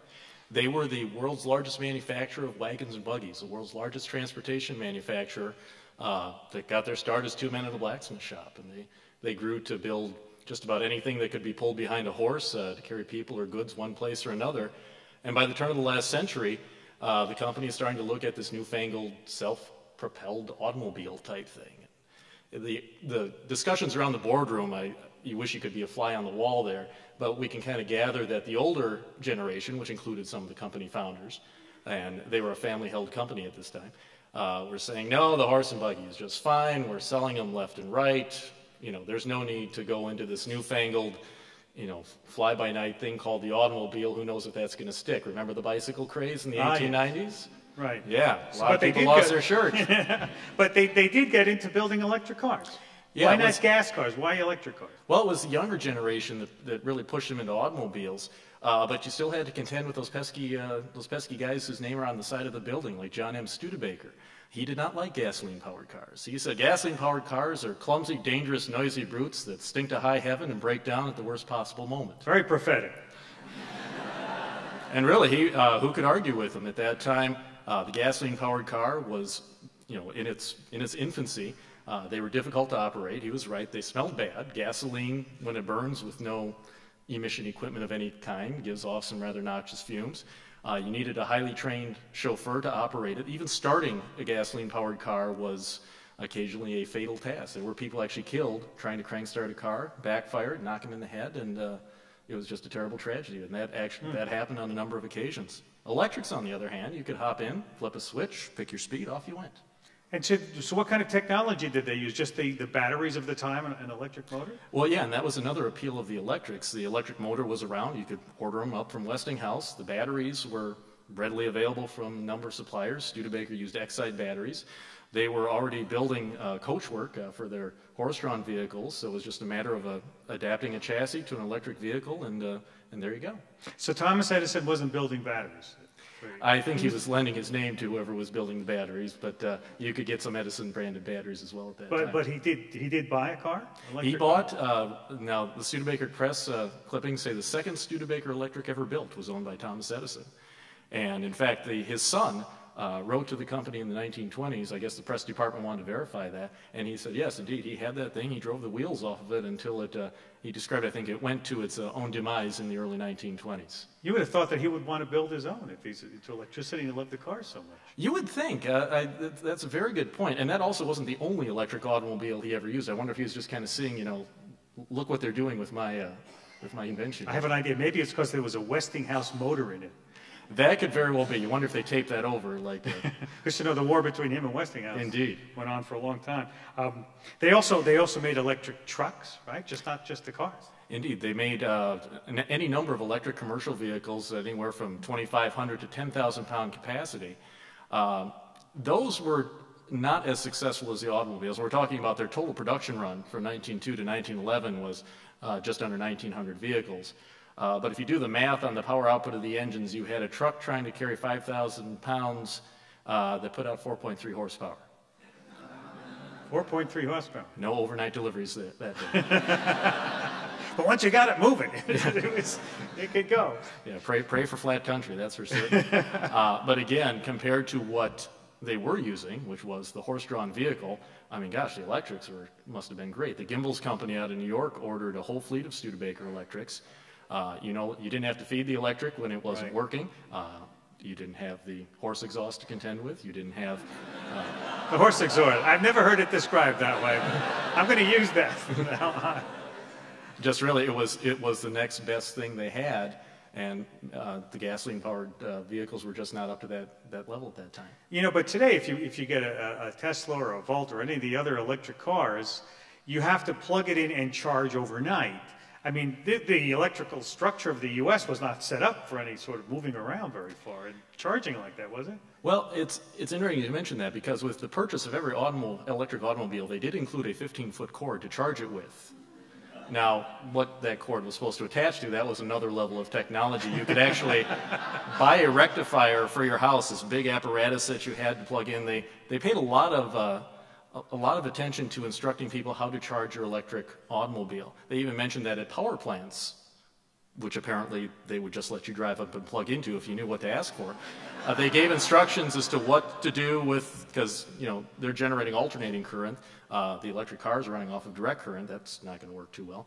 Uh, but said, well, you plug it into this thing and and make this switch and tell them you want this, and you can charge your electric car there. Um, it, it was really an entertaining read, uh, researching for today. Did they did he charge you extra for the charging unit? They, yes, oh, of course they did. Uh, you also could pay extra for a convertible top too. But yeah, the charging, the charging machine, it was. Uh, they even showed how convenient it was. Even if you didn't have a garage uh, in which to uh, to put this thing in, they showed a like a brownstone in an urban area where they showed the charging thing, uh, the charging station tucked under the stairs out front. And running extension cord across the sidewalk where your Studebaker electric would just recharge while you, you let it sit there, I'm certain unattended, with no harm falling to it. So how many cars did they make, and how many people bought them, and how many years? 1902 to 1911, uh, they produced, I think it was 1,811 gasoline or uh, electric vehicles of all kinds. They sell every one they made. Uh, probably more made every one they could sell. I have a feeling, but uh, yeah, it was not. It was you know those numbers are paltry by comparison, Yeah. but even uh, compared to the early gasoline-powered models that they were offering, which came along two years later, it was encouraging. You can see why they still weren't ready to abandon the electric market. And so what happened that they finally had to go go gas? Well, a couple of things. The development of the gasoline engine was just uh, going leaps and bounds, and uh, you know it was becoming much more reliable. Gasoline was becoming more available. In the early days, you didn't have the you know fill up station with everything pay at the pump. It was you had to find a- place. Many outlying areas didn't have gasoline available, um, but really it was the development of uh, like the self starter. Now you didn't have to get out and crank the car; you could start it yourself. Uh, cars came down in price when Studebaker first introduced their gasoline powered cars. They cost twice as much as the electrics. Uh, by the time they, towards the end of the production one, it was the other way around. The gasoline powered cars were half as much as the electrics. Hmm. And it just, it was clear, at least to the Studebaker owner, or the Studebaker uh, corporation that the gasoline-powered car was the way to go. Were, were, did Studebaker have any competitors in making electric cars? They did actually. There was uh, they weren't they weren't the first electric. Uh, there was uh, the Baker Electric Company uh, out of Ohio, and they actually started making electrics in 1899. And actually, there was another company, the Detroit Electric. Uh, they actually made electric uh, automobiles up into the 1930s. So there's Wow. like one stalwart still hanging on there. Are, are there any of them still around? There are a couple. I've, um, I believe the Henry Ford Museum may have a Detroit. They have a Studebaker in the Ford Museum. And well, they should. There's a few of those hanging around. The ni- nice thing was the electrics, uh, from a from a collector standpoint, it's very easy to operate an electric. It can sit for a lot of lot of years. You throw in a battery and pump up the tires, you're probably good to go. Gasoline powered cars don't age as gracefully technology wise with the fuels and fluids, but yeah, electrics uh, still. It's still surpri- is it surprising to you that, that they were getting 40 miles on a charge and that's still what we're getting? And I was surprised to learn that, and then it, we started. We were talking about it uh, with the producers earlier, and we think the electric cars and Studebakers age weight about you know, six, seven hundred pounds. You know, a Chevy Volt. You know, they didn't have they didn't have to deal with you know airbags and other pesky things. Of course, the Volt has safety glass, so we'll consider that a fair trade. Um, and, and so they finally disappeared from the landscape, it- never to be seen again. Well, it's like they kept surfacing up every now and again. Oh, is that right? Yeah. Um, American Motors was uh, experimenting with electric uh, electric vehicle in the 70s, or these little the commuter car in the 1970s. Uh, you know, it's amazing when gasoline starts spiking up again. Suddenly, everyone's going, you know, maybe it's time to look at this whole electric thing again. And now, you know, the, looks like the the big three has really embraced uh, electricity as a viable alternative of one kind or another. What was the last Studebaker, the regular car? Last Studebaker was I remember when I was a child seeing that, especially the bullet one, the bullet car. Oh yeah, that was their best seller. Uh, last Studebaker was actually built St. Patty's Day, 1966, March 17th. And some of them still around? We have the last one down at the Studebaker National Museum. Uh, you can, you can Come come, on down, and see it. I'll give you a personal tour. That's great. And, uh, you know, it's surprising to hear, I mean, I didn't know this, that, that the electric car goes that far back, and that it was people were buying them. Yeah, it was, you know, really, when, you can't argue with J.M. Studebaker's line of reasoning. It's like, why, why would you buy something that you need a professional chauffeur and, you know, it's just not a very aesthetically pleasing uh, Yeah. piece of equipment when you can have this electric thing. You push a button and you go. Man, you could be hit hit by a crank, you know. Why not? Thank you, Andy. And your museum is open, so everybody can come down and, and see that last. Check us out at studebakermuseum.org. Uh, open Monday, Monday through Saturday, 10 to 5, noon to 5 on Sundays. There you got something to do. Thank you. Thank you, Andy. Andy Beckman is the archivist at the Studebaker National Museum here in South Bend. Thanks. Thanks for joining us today. When we come back, the clues at a crime scene that might crawl away from you. We'll talk with a forensic entomologist. This is Science Friday from PRI, Public Radio International.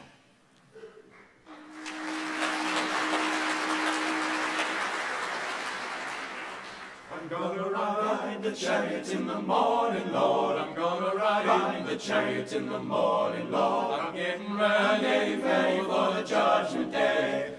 My Lord, my Lord. I'm gonna ride the chariot in the morning, Lord. I'm gonna ride the chariot in the morning, Lord. I'm getting ready, ready for the judgment day. My Lord,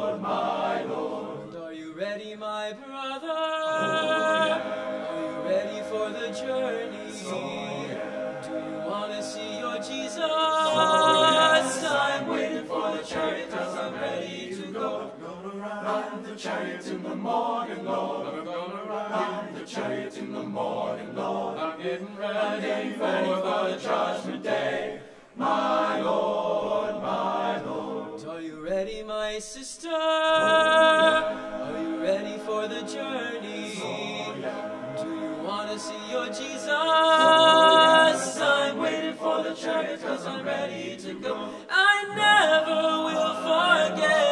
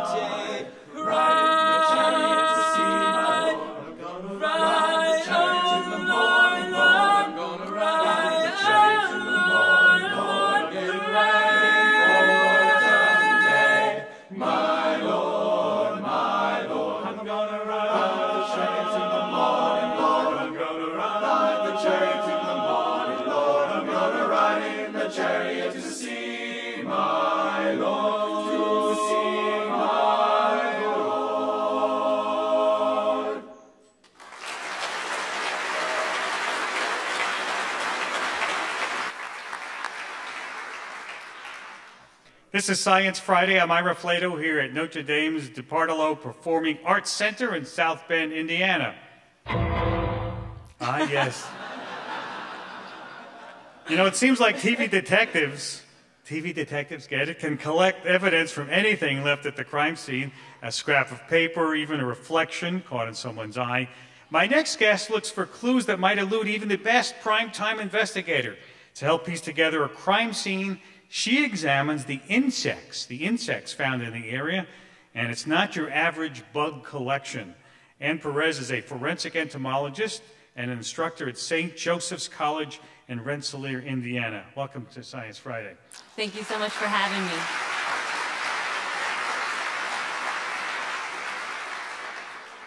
You know, I, I, guess people, you know, when they watch the crime shows, they're not looking at the insects a lot there, but they're showing up a little bit more on Yeah, them, you aren't see they? them every once in a while on TV. What, what kind of insects are they looking for? What's going on at the crime scene?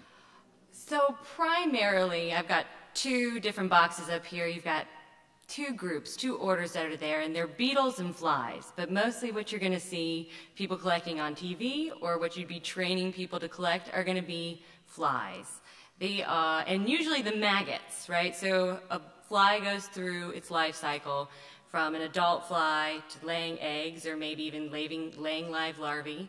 And those larvae are what are actually eating um, a corpse, using the corpse as a nutrient source. So that's usually what gets collected. But even so, they go, and once they've gotten enough nutrients from the body, they crawl away from the body and go pupariate. They have this cocoon stage, if you're familiar with, you know, a chrysalis or a cocoon for a butterfly. So they go through this puparial stage, and then will go through metamorphosis and come out as an adult fly. So you'll collect them any of those stages, but usually the maggots are what you're going for. The maggots. Um, so many ways to go with that sentence. um, but so, but you can tell by the stage they're in how long the body has been there or their time of death. or- Yeah, so there are flies that are really good at sensing a body very soon after death. So these are flies that a lot of people are familiar with. They're these iridescent green and blue flies that you'll see hanging around your trash. They're really good at eating any kind of decomposing organic matter. Um, or these flesh flies that look like flies in little pinstripe suits. So within minutes on a good day, and for an insect, a good day means, you know, not a lot of rain, not a lot of wind, um, and pretty warm. On a good day, they'll be there in minutes. And so that kind of starts the biological clock. So if I can pick a maggot off of a dead body and I can age that maggot, then I can tell you you've been dead for at least as long as that maggot is old. Which in the maggot year is what? So it depends on the species of fly, right? So you've got very species specific developmental rates. And so for these green, iridescent green flies, you can be a maggot in really warm times for mm, a week, a, A little week. bit less than a week, So if it's, it's still there, you've been dead just a week. in really, really warm times. If it's cold, you're there longer.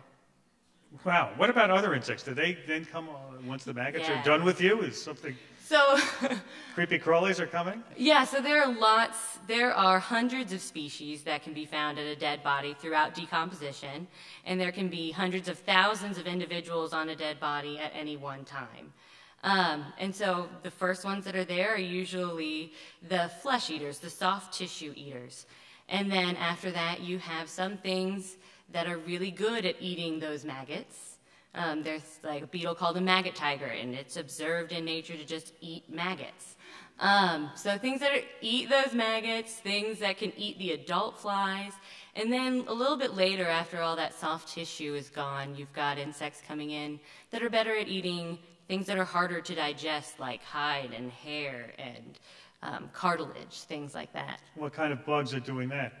Mostly beetles. Those are those are the beetles' jobs. Um, later on, there's a lot of beetles that eat um, maggots, and there are a lot of beetles called hide beetles, very creative, um, that can come in and eat that harder to eat stuff. When did you decide you want to study maggots?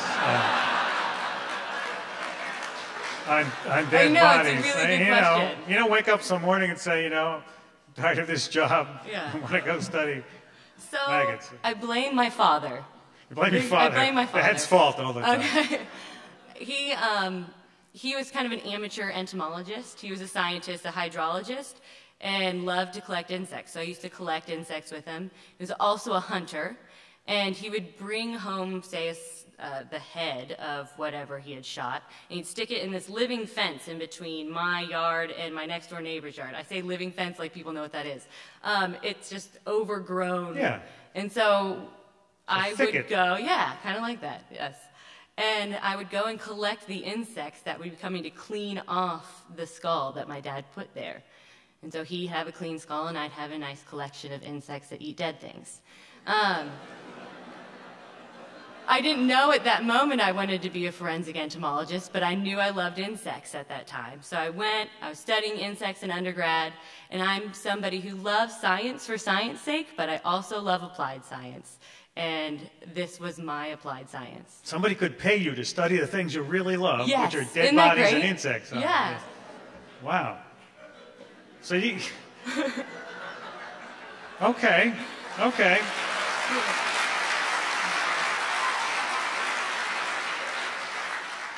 How do you practice this? I mean, how do you know what it? How do you study it? Right? You have to Yeah, practice your trade. You do, and it's very hard to get human bodies for this type of research. It's I can imagine. you that, need know? accredited facilities, and as all good scientists know, you want a lot of replication, so it's even harder to get them in large numbers. Um, so instead, You don't create them, do you? No. Okay. Just it's another TV show. It's a movie. So we use pigs as surrogates for human decomposition. They have actually been directly compared to humans and haven't been found to significantly differ in their rate of decomposition. We're talking within certain weight classes, or the insect fauna that are attracted. And so a 50 pound pig does a pretty good job of being a surrogate for the average size male. Wow.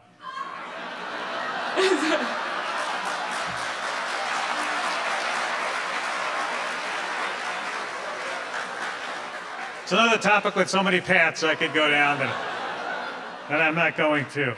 Um, isn't I had seen years ago? Isn't there a, a sense somewhere, maybe in the southeast, where there is a there's a a place where they actually put bodies in the ground and study how they decompose, and uh, they watch real People? Yeah, so there are a couple of, um, this isn't the term they like to use, but body farms. body farms. Um, there's one at Tennessee, is the That's famous the one I'm In thinking of, Tennessee, it's yeah. the Anthropological Research Facility instead of the body farm. But yes, they put out um, human corpses that have been donated to science and study the decomposition. And every once in a while, they'll let entomologists come and do research. Now, you also get called in, and this is really fascinating, to investigate cases of neglect. Yes. Tell us about that. I'm almost afraid to ask on. So there, there are some flies that are some pretty promiscuous eaters, is what I like to call them.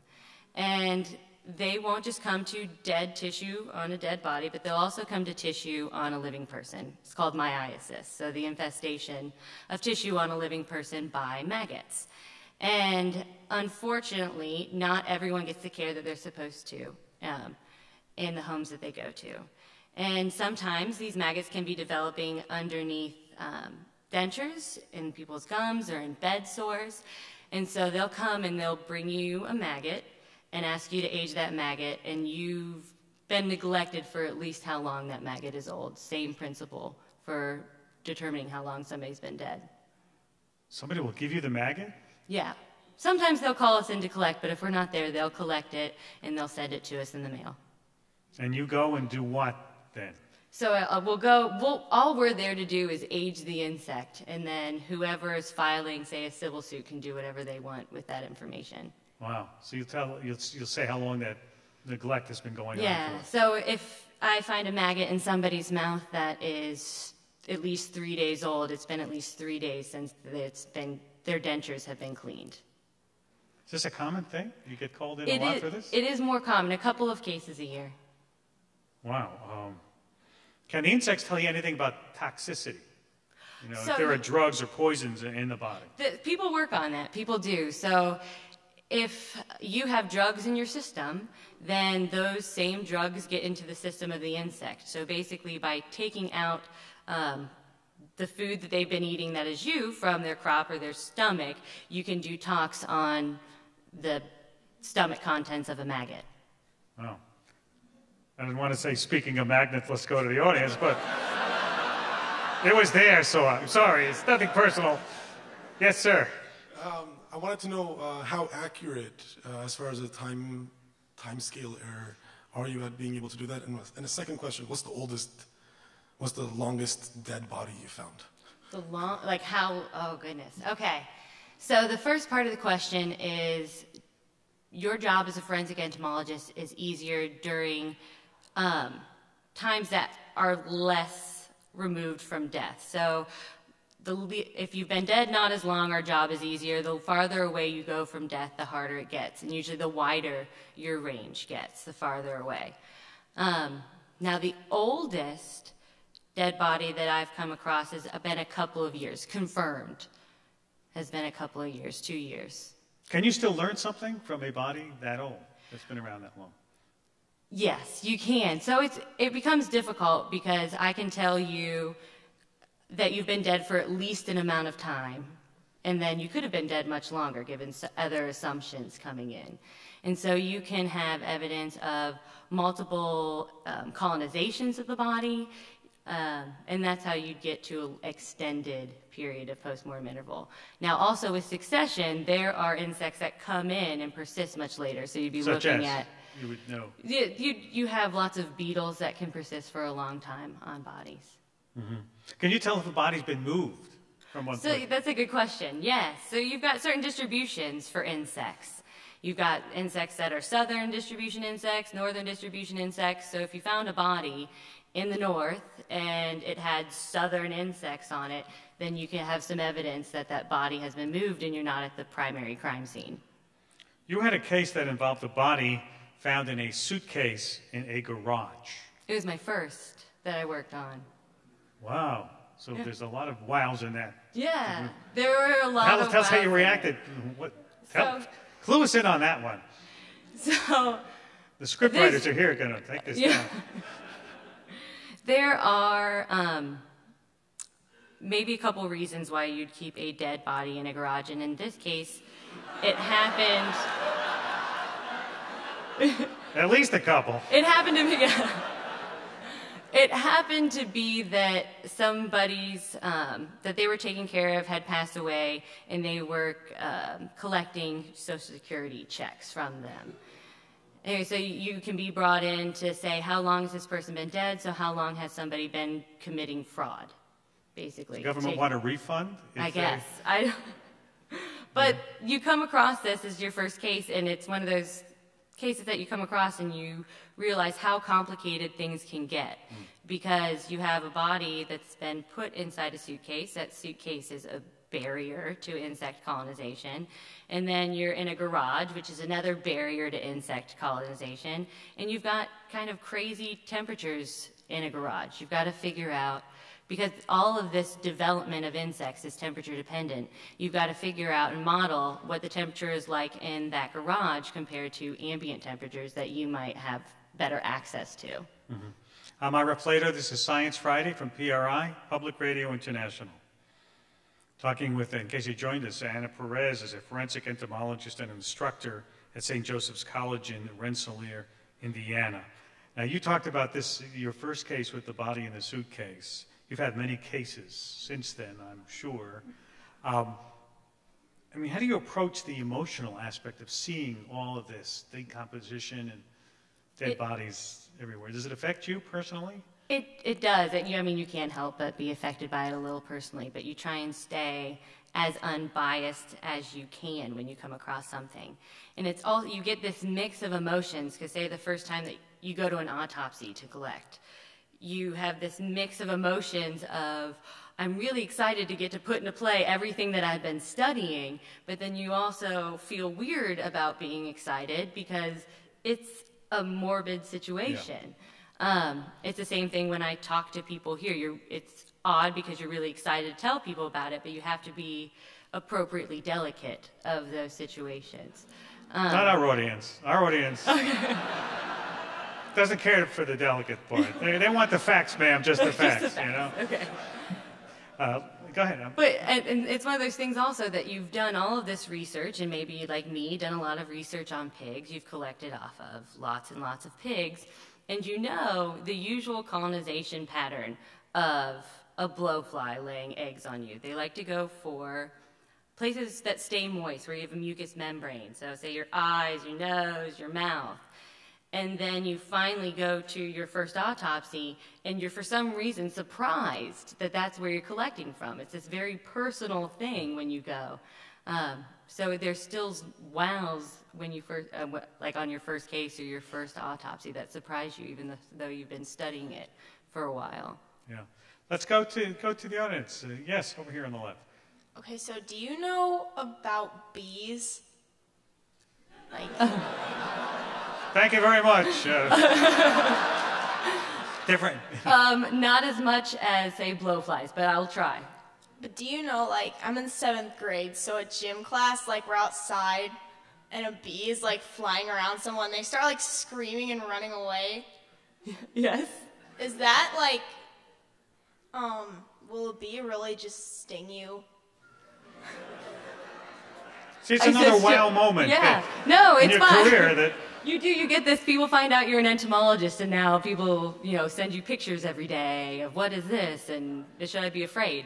Um, so the short answer to that, I would say, is yes. Um, they will sting you. yeah, they will sting you. You should take the appropriate amount of precaution around stinging insects. But yes, they will, especially if you're flailing.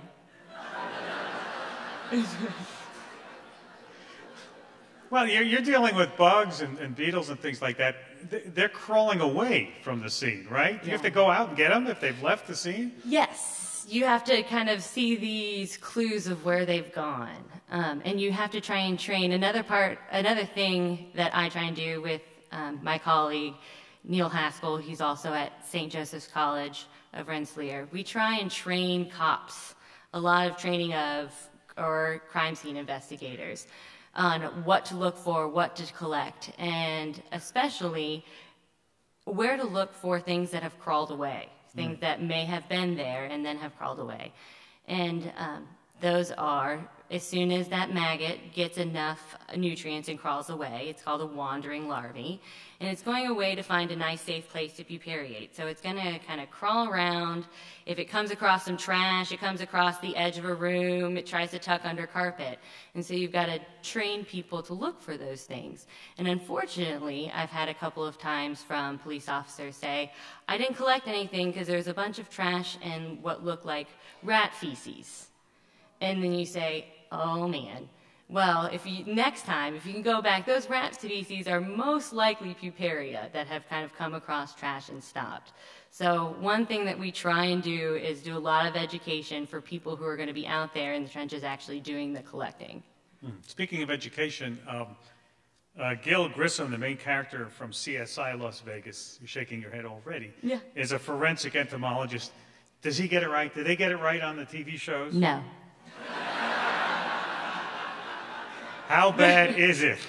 It's it's it's pretty bad, and I understand why they have to do what they do. What do they Um, get wrong the most? What's what's the So usually they- maggots are not like sexy enough, I guess. Like they're not, they're just these kind of white blobs that are maybe hard to see. So they end up using like mealworm larvae or something like that to place on the body because they're bigger, easier to see, grosser.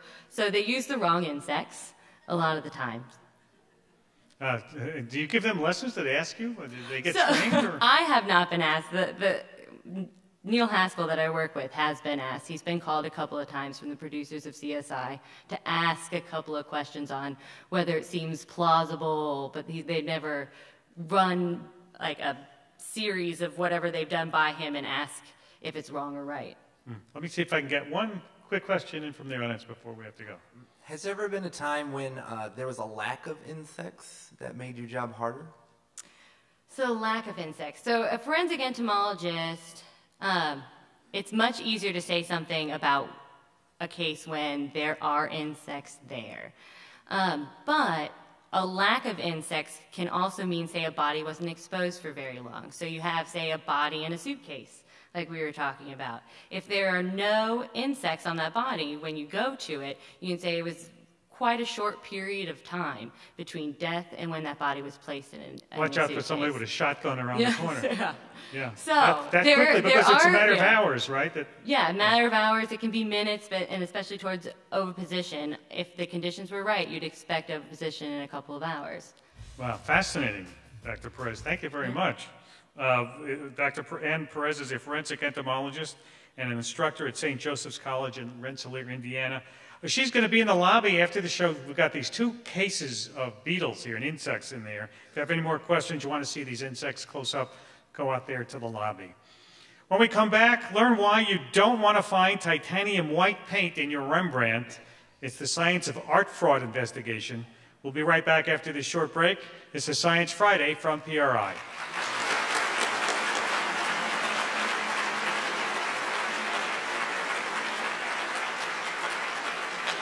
On the banks of the Don, there's a dear little spot, a boarding house proper where you get your meals hot. You get fine bread and water, and you won't pay a cent. Your taxes are paid for your board and your rent. So turn out every man of you all in a line. From the cell to the stone yard, you all must keep time. You work like a Turk till the bell it strikes one in that grand institution just over the dawn. To get into that palace so neat, faded old masters painting and sell it on the street. You'll have a fine carriage to drive you, to drive you to that grand institution just over the dawn. So turn out every man of you all in a line. From the cell to the stone yard, you all must keep time. You work like a Turk till the bell it strikes one. In that grand institution just over the dawn. Our boarders are honest, not one of them steal. For we count all our knives and forts after each meal. The windows are very and barred up besides to keep our good boarders from falling outside. So turn out, so turn out to turn in a line from the cell to the cell to the stone yard. Keep time, keep time. You work like a till the bell it strikes one. In that grand institution just over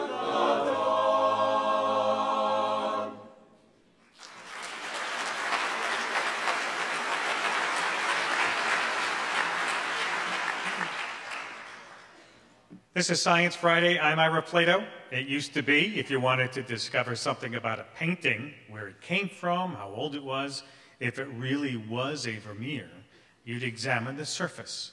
Art historians would evaluate a painter's style, analyze individual brushstrokes, and if you wanted to get a really fancy opinion, get really fancy about this, they could put it through an X-ray.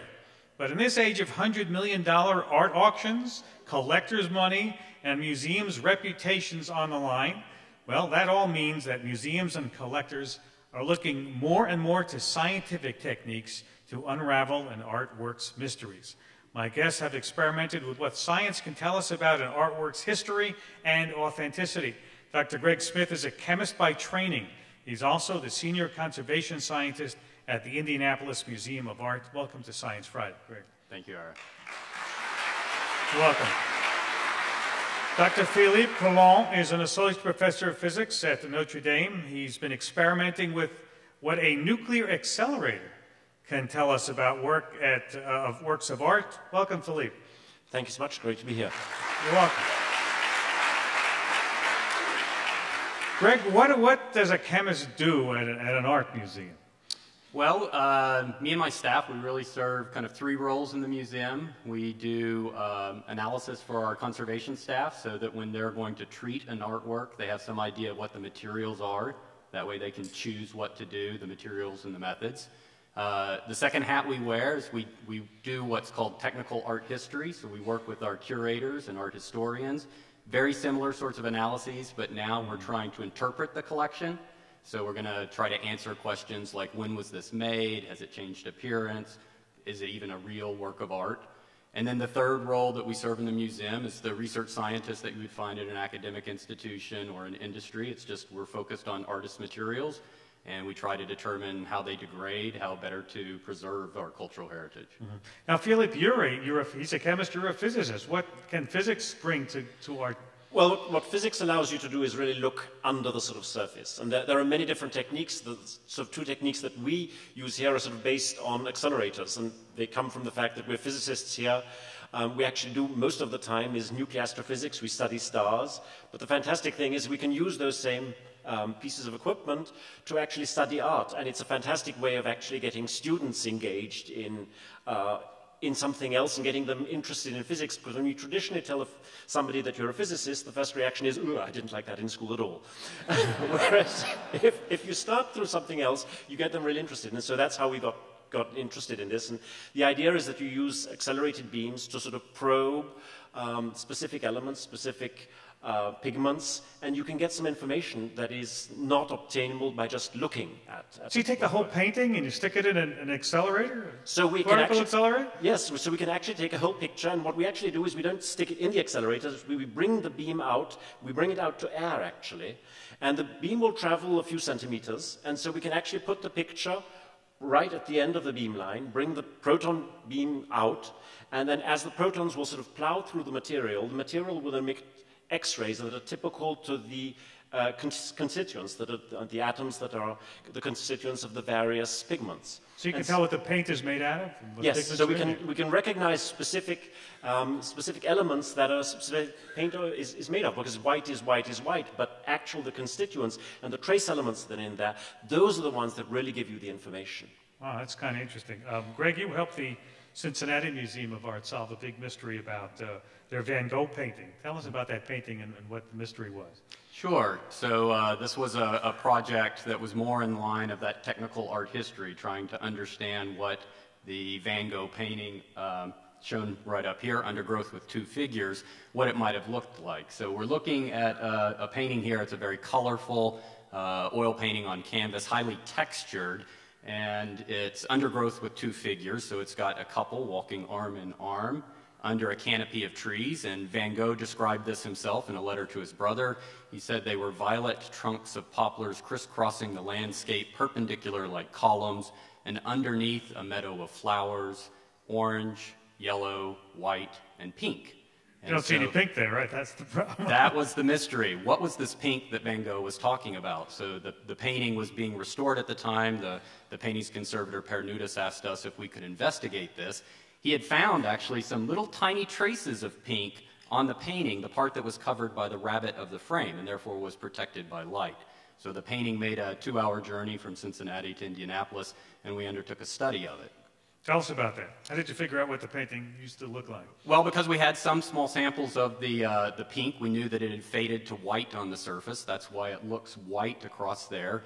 Uh, those small bits of paint, we could use a technique called uh, laser Raman spectroscopy. This is a molecular spectroscopy and direct that laser beam at the, uh, the small bit of pink remnants. And we identified the pigment. It was uh, geranium lake, which would have been sort of a super modern material in Van Gogh's time. He's painting in 1890, uh, June 1890. This is actually just five weeks before he dies of a self-inflicted gunshot wound. So this is one of his last works. And that geranium lake, it uses a dye called eosin. And uh, unfortunately, eosin is incredibly fugitive, and so it fades very rapidly.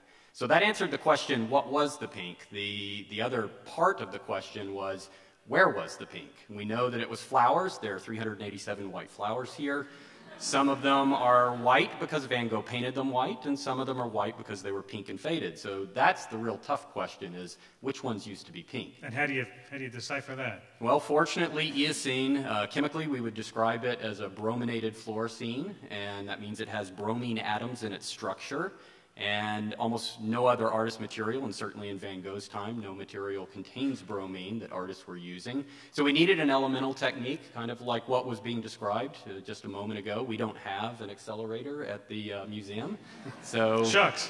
I know, we're working on it. Uh, so instead, we used a conventional technique called X-ray fluorescence spectroscopy. So we're going to, instead of shooting a proton beam, we're just going to irradiate the surface of the painting with a beam of X-rays, and then the elements are going to emit or fluoresce their own X-rays. And so we're looking for that bromine signature, and that would be as good as detecting eosin uh, below the faded surface. So you flood the whole painting. Not the whole painting. We actually have a microfocus instrument so we can go on a 70 micron spot, so a little smaller than the width of your hair.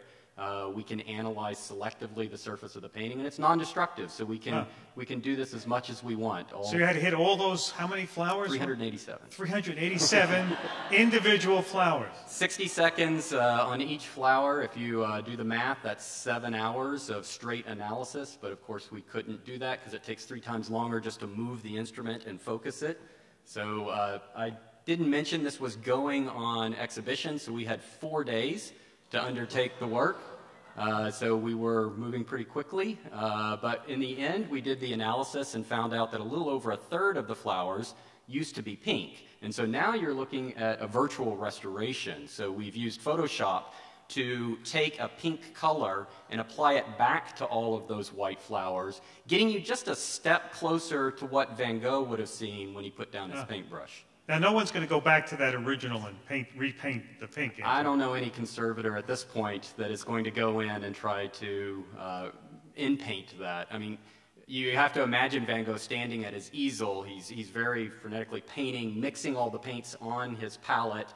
Each one of those is sort of an individual thought, an individual movement, and there's a lot of nuance that we can't really engineer into our virtual restoration. I would imagine there must be hundreds or thousands of other paintings that have lost their colors that would be amenable to something like this. Definitely. This is a notorious case of this, uh, this dye, eosin, but even the natural red dyes that were used, and there are a lot of exciting ones that come from bugs, for instance, so cochineal. Stay away from her Uh, bugs.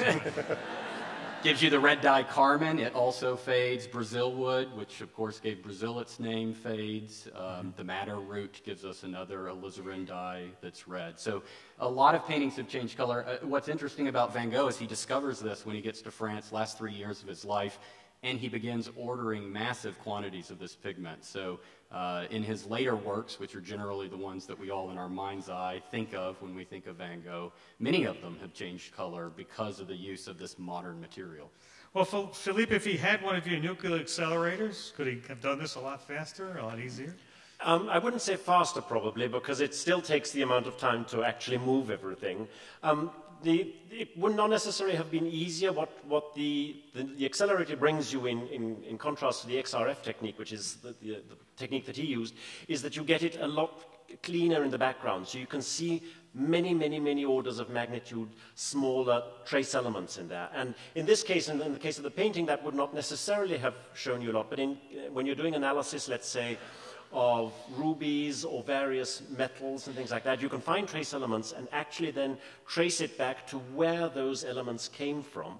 Specifically in, in the Louvre, where they actually have an accelerator. They have, the Louvre has one in their basement. the Louvre has one in their basement. It is the only, ex- uh, literally, it is the only museum in the world that actually has one. They actually do this type of work, and they were actually analyzing the eyes of a Parthian goddess, and initially thought it was glass, discovered that it was actually rubies.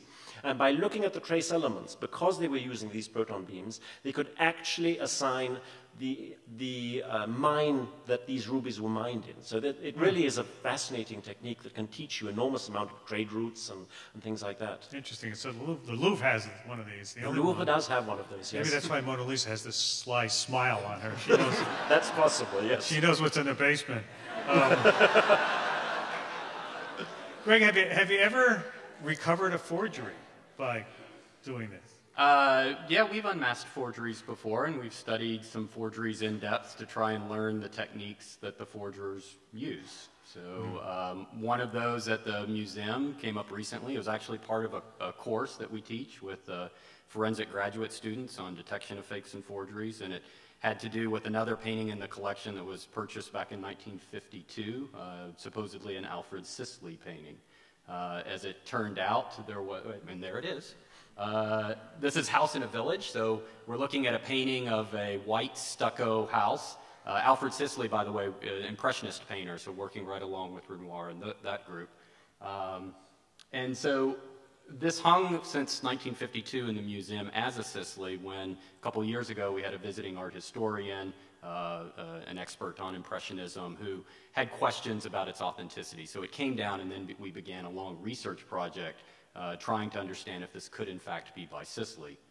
Uh, so a project like that usually begins by uh, a connoisseur or a curator in our instance. Annette Schlagenhauff is our provenance curator. Provenance is the history of ownership and exhibition of a work. So she's going to try and track the history back as far as possible, and that turned up some red flags. So uh, it has a fabulous inscription on the back of it. It says uh, Alf Sisley, 1874, um, uh, Galerie Nadar, Paris. So that's the site of the first Impressionist exhibition. So it's almost like it had its provenance written directly, well, it did have its provenance written directly on the back of it.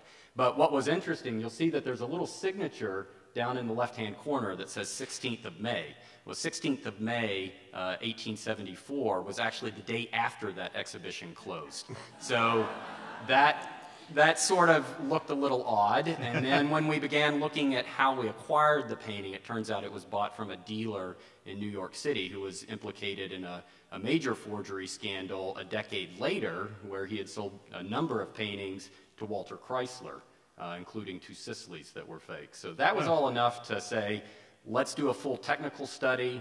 Uh, we undertook that in the lab with the graduate students, uh, beginning sort of a crescendo of analysis. We start just looking really carefully at the picture. We then do the radiography, all the imaging techniques, and then eventually we throw our analytical arsenal at it to try and identify every pigment and medium and varnish.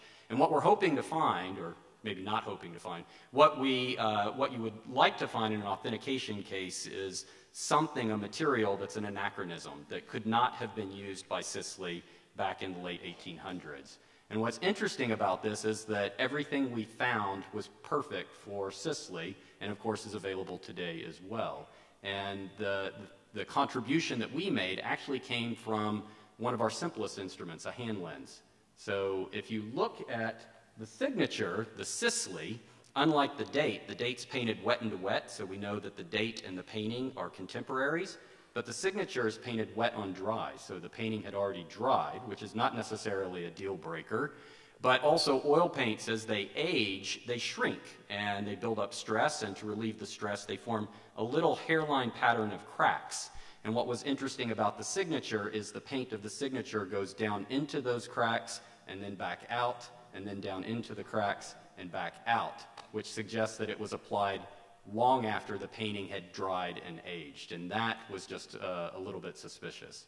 So the signature gave it away. The signature gave it away. All that work and everything else, it was the signature. Well, no, it's, it's actually the total package. Yeah. And, and, you know, the, the case against the painting is not rock solid. It's a lot of circumstantial Right. evidence, but uh, it all adds up. I'm Ira Flatow. This is Science Friday from PRI, Public Radio International. Talking with uh, Greg Smith, Senior Conservation Scientist at the Indianapolis Museum of Art. Philippe Collon is an Associate Professor of Physics at the University of Notre Dame in, in South Bend, in, Indiana. Um, Philippe, do you recommend that museums start getting their own Absolutely. X-ray? Al- Although it might lead to a lot of surprises. The problem is that there are a lot of fakes out there. I mean, they're definitely beautiful works of art, but there are a lot of fakes out there, and a lot of museums might be losing a lot of their value, their intrinsic value, because that is, it is in their artwork. But the forges are getting better and better, and there are a lot of forges out there. They've always been done. I mean, uh, if, you look at the, the Shroud of Turin, that was probably a, could very well have been a forgery in its time. So using, I know, here at Notre Dame, that is. Uh, um, but it, it, is, it, it, is a fascinating subject, but it is something where you need better and better and more and more sensitive techniques. And so that is, I wouldn't say every museum should get one, but they should at least see if there is an accelerator somewhere nearby. There you go, like, like yours. Yes. Um, the, the Van Gogh that you, you recaptured the original colors, would you suggest that they show that alongside the original, what you've discovered? The hope is to do something like that. And I should point out that we also have a Van Gogh at the IMA. And Van Gogh, again, in a letter to his brother in describing our painting, says that it's the complement to a yellow painting, which would suggest that it was very purpley violet in color. And ours doesn't look violet. And it's from that time period. We suspect that ours is faded. So we'll undertake a similar study, and the goal will be to show the virtual restoration right beside the actual artwork, just to give you a, Yeah, a I would hint think of so. what it used to And look now like. with digital photography and whatever, you can make a pretty good copy. Oh, yeah. Yeah, Yeah. with it, with it. That's what, and so of course, that's what the forgers know also. Um, Yes, question here. So, so uh, this is a pretty good picture right here. Can uh, do you sell the fakes? I mean, uh, Even if it's a forgery, you're interested. Uh, they have a buyer. Do I have a hundred? We're, we're not going to sell this anytime soon. Uh, it's going to probably uh, live its life for now in storage, awaiting kind of the, the DNA of the art world, the next technique that would allow us definitively to say that this came from the hand of Alfred Sisley or not. Uh, but there are instances of fakes that uh, I worked on a, a forgery case uh, trying to reverse engineer a forgery. And several people knew that they owned forgeries, but they didn't want to return them for financial compensation. The story behind the forgery made it all the more interesting to them, so it became even more valuable afterwards. Now, I, I know you don't work just with paintings. Tell us about the Uzbek coat that you. So we just opened an exhibition at the IMA that tries to bring what we do behind the scenes out to the public. So this is an example of a highly embroidered man's ceremonial coat from Uzbekistan that was uh, given to the museum in 2012. And from a curatorial perspective, this coat uh, could have dated. There wasn't a really strong provenance for this. We know it's from Uzbekistan. It was purchased in Turkey. Uh, but from the curatorial perspective, this coat could be anywhere from the 1850s to the early 1900s. And so the curator asked us, is there a way that you can narrow down that date range? Which for us, the question is, is going to be answered in, in the colorants, the dyes that are used in that, uh, that textile. That time period, late 1800s, it was a rich explosion of synthetic organic chemistry. Uh, many chemists were devoting lots of effort to creating new colors. And so there was a good chance we would find synthetic dyes here. So we took small samples. We have to do a, a test, a destructive test, so we need about a millimeter of those colored embroidery threads.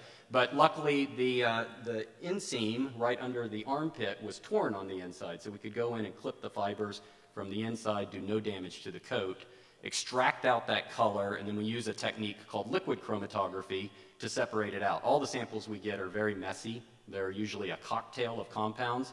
So we begin by separating them out into individual components with the liquid chromatograph. Uh, we can then get their color spectrum. That tells us a little bit about them. Uh, we can then put them through a mass spectrometer, which gives us their molecular weight.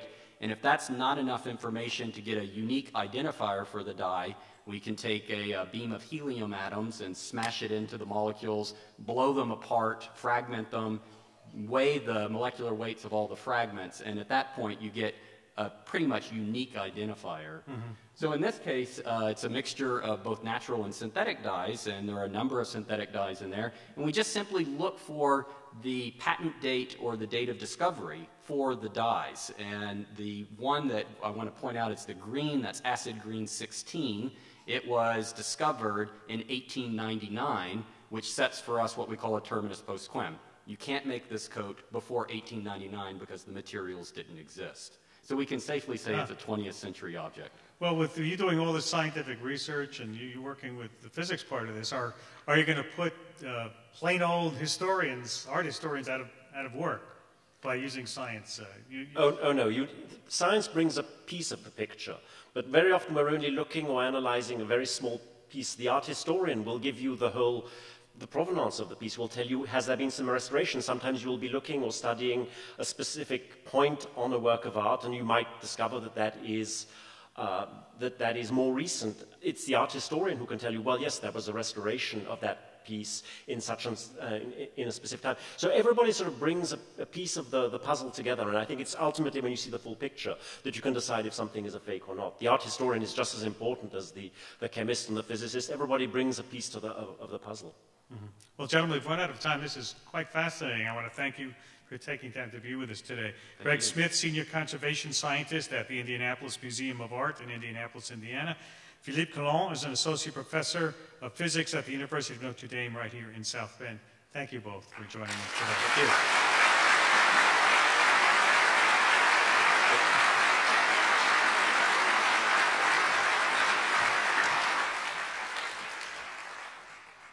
Yay!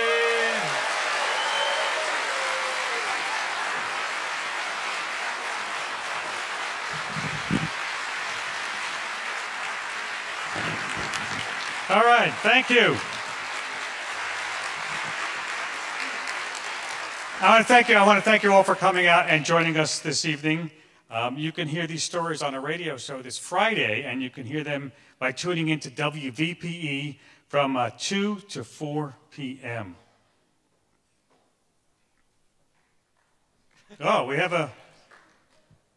So we have a little gift for you, Ira. Um, you're an extraordinary person. Uh, we really appreciate everything you do for science and certainly for the public good of science. And you exhibit extraordinary virtue, which we really value here at the University of Notre Dame. And so we wrote you a little something to take with you, and I'll explain the pictures too. It says, Society turns science to solve big problems in the modern world. Science becomes more complex and specialized with new technology and discoveries. You serve both science and society by making the complicated truth clear. We have awakened wonder in, you have awakened wonder in children and adults alike, imparting knowledge with your creativity, wisdom, and passion. We scientists admire your skill and appreciate your dedication that conveys the hope and promise of our ever expanding inquiry and discovery. Thank you, Ira, for all that you do. and we have two pictures here.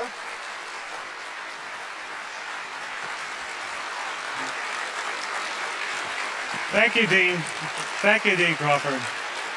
And the uh, the two pictures here, uh, we have the blood moon that came out the other night with Matt Kishore's incredible photograph, and we know Ira is a huge fan of Touchdown Jesus. Really, I got it. I am. Thank you, Dean. Thank you very much. Thank you very much. I got it.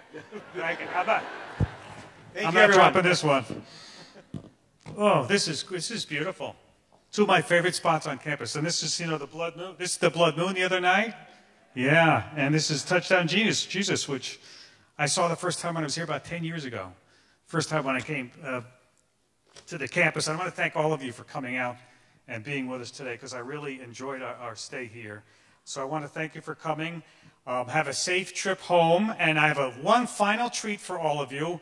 We're going to let the Notre Dame Glee Club sing you out with a tune that I think you're familiar with.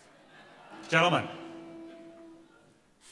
Rowdy sons of Notre Dame, sing her glory and sound her fair fame. Raise her gold and blue and cheer with voices true, rah rah, for Notre Dame. We were fight in every game, strong of heart and true to her name. Her name we forget her and will cheer her ever loyal to Notre Dame. Cheer, cheer for old Notre Dame, wake up the echoes cheering her name. Send the volley cheer on high, shake down the thunder from the sky. Thunder, what though the odds be great or small, old Notre Dame will win over all. While her loyal sons are marching onward to victory. Onward to victory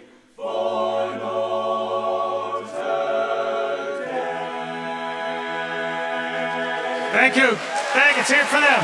Let's hear it for this guy. Take a bow. We take a bow? Whoa. Thank you. Drive home safely. See you again next time. See you on Friday.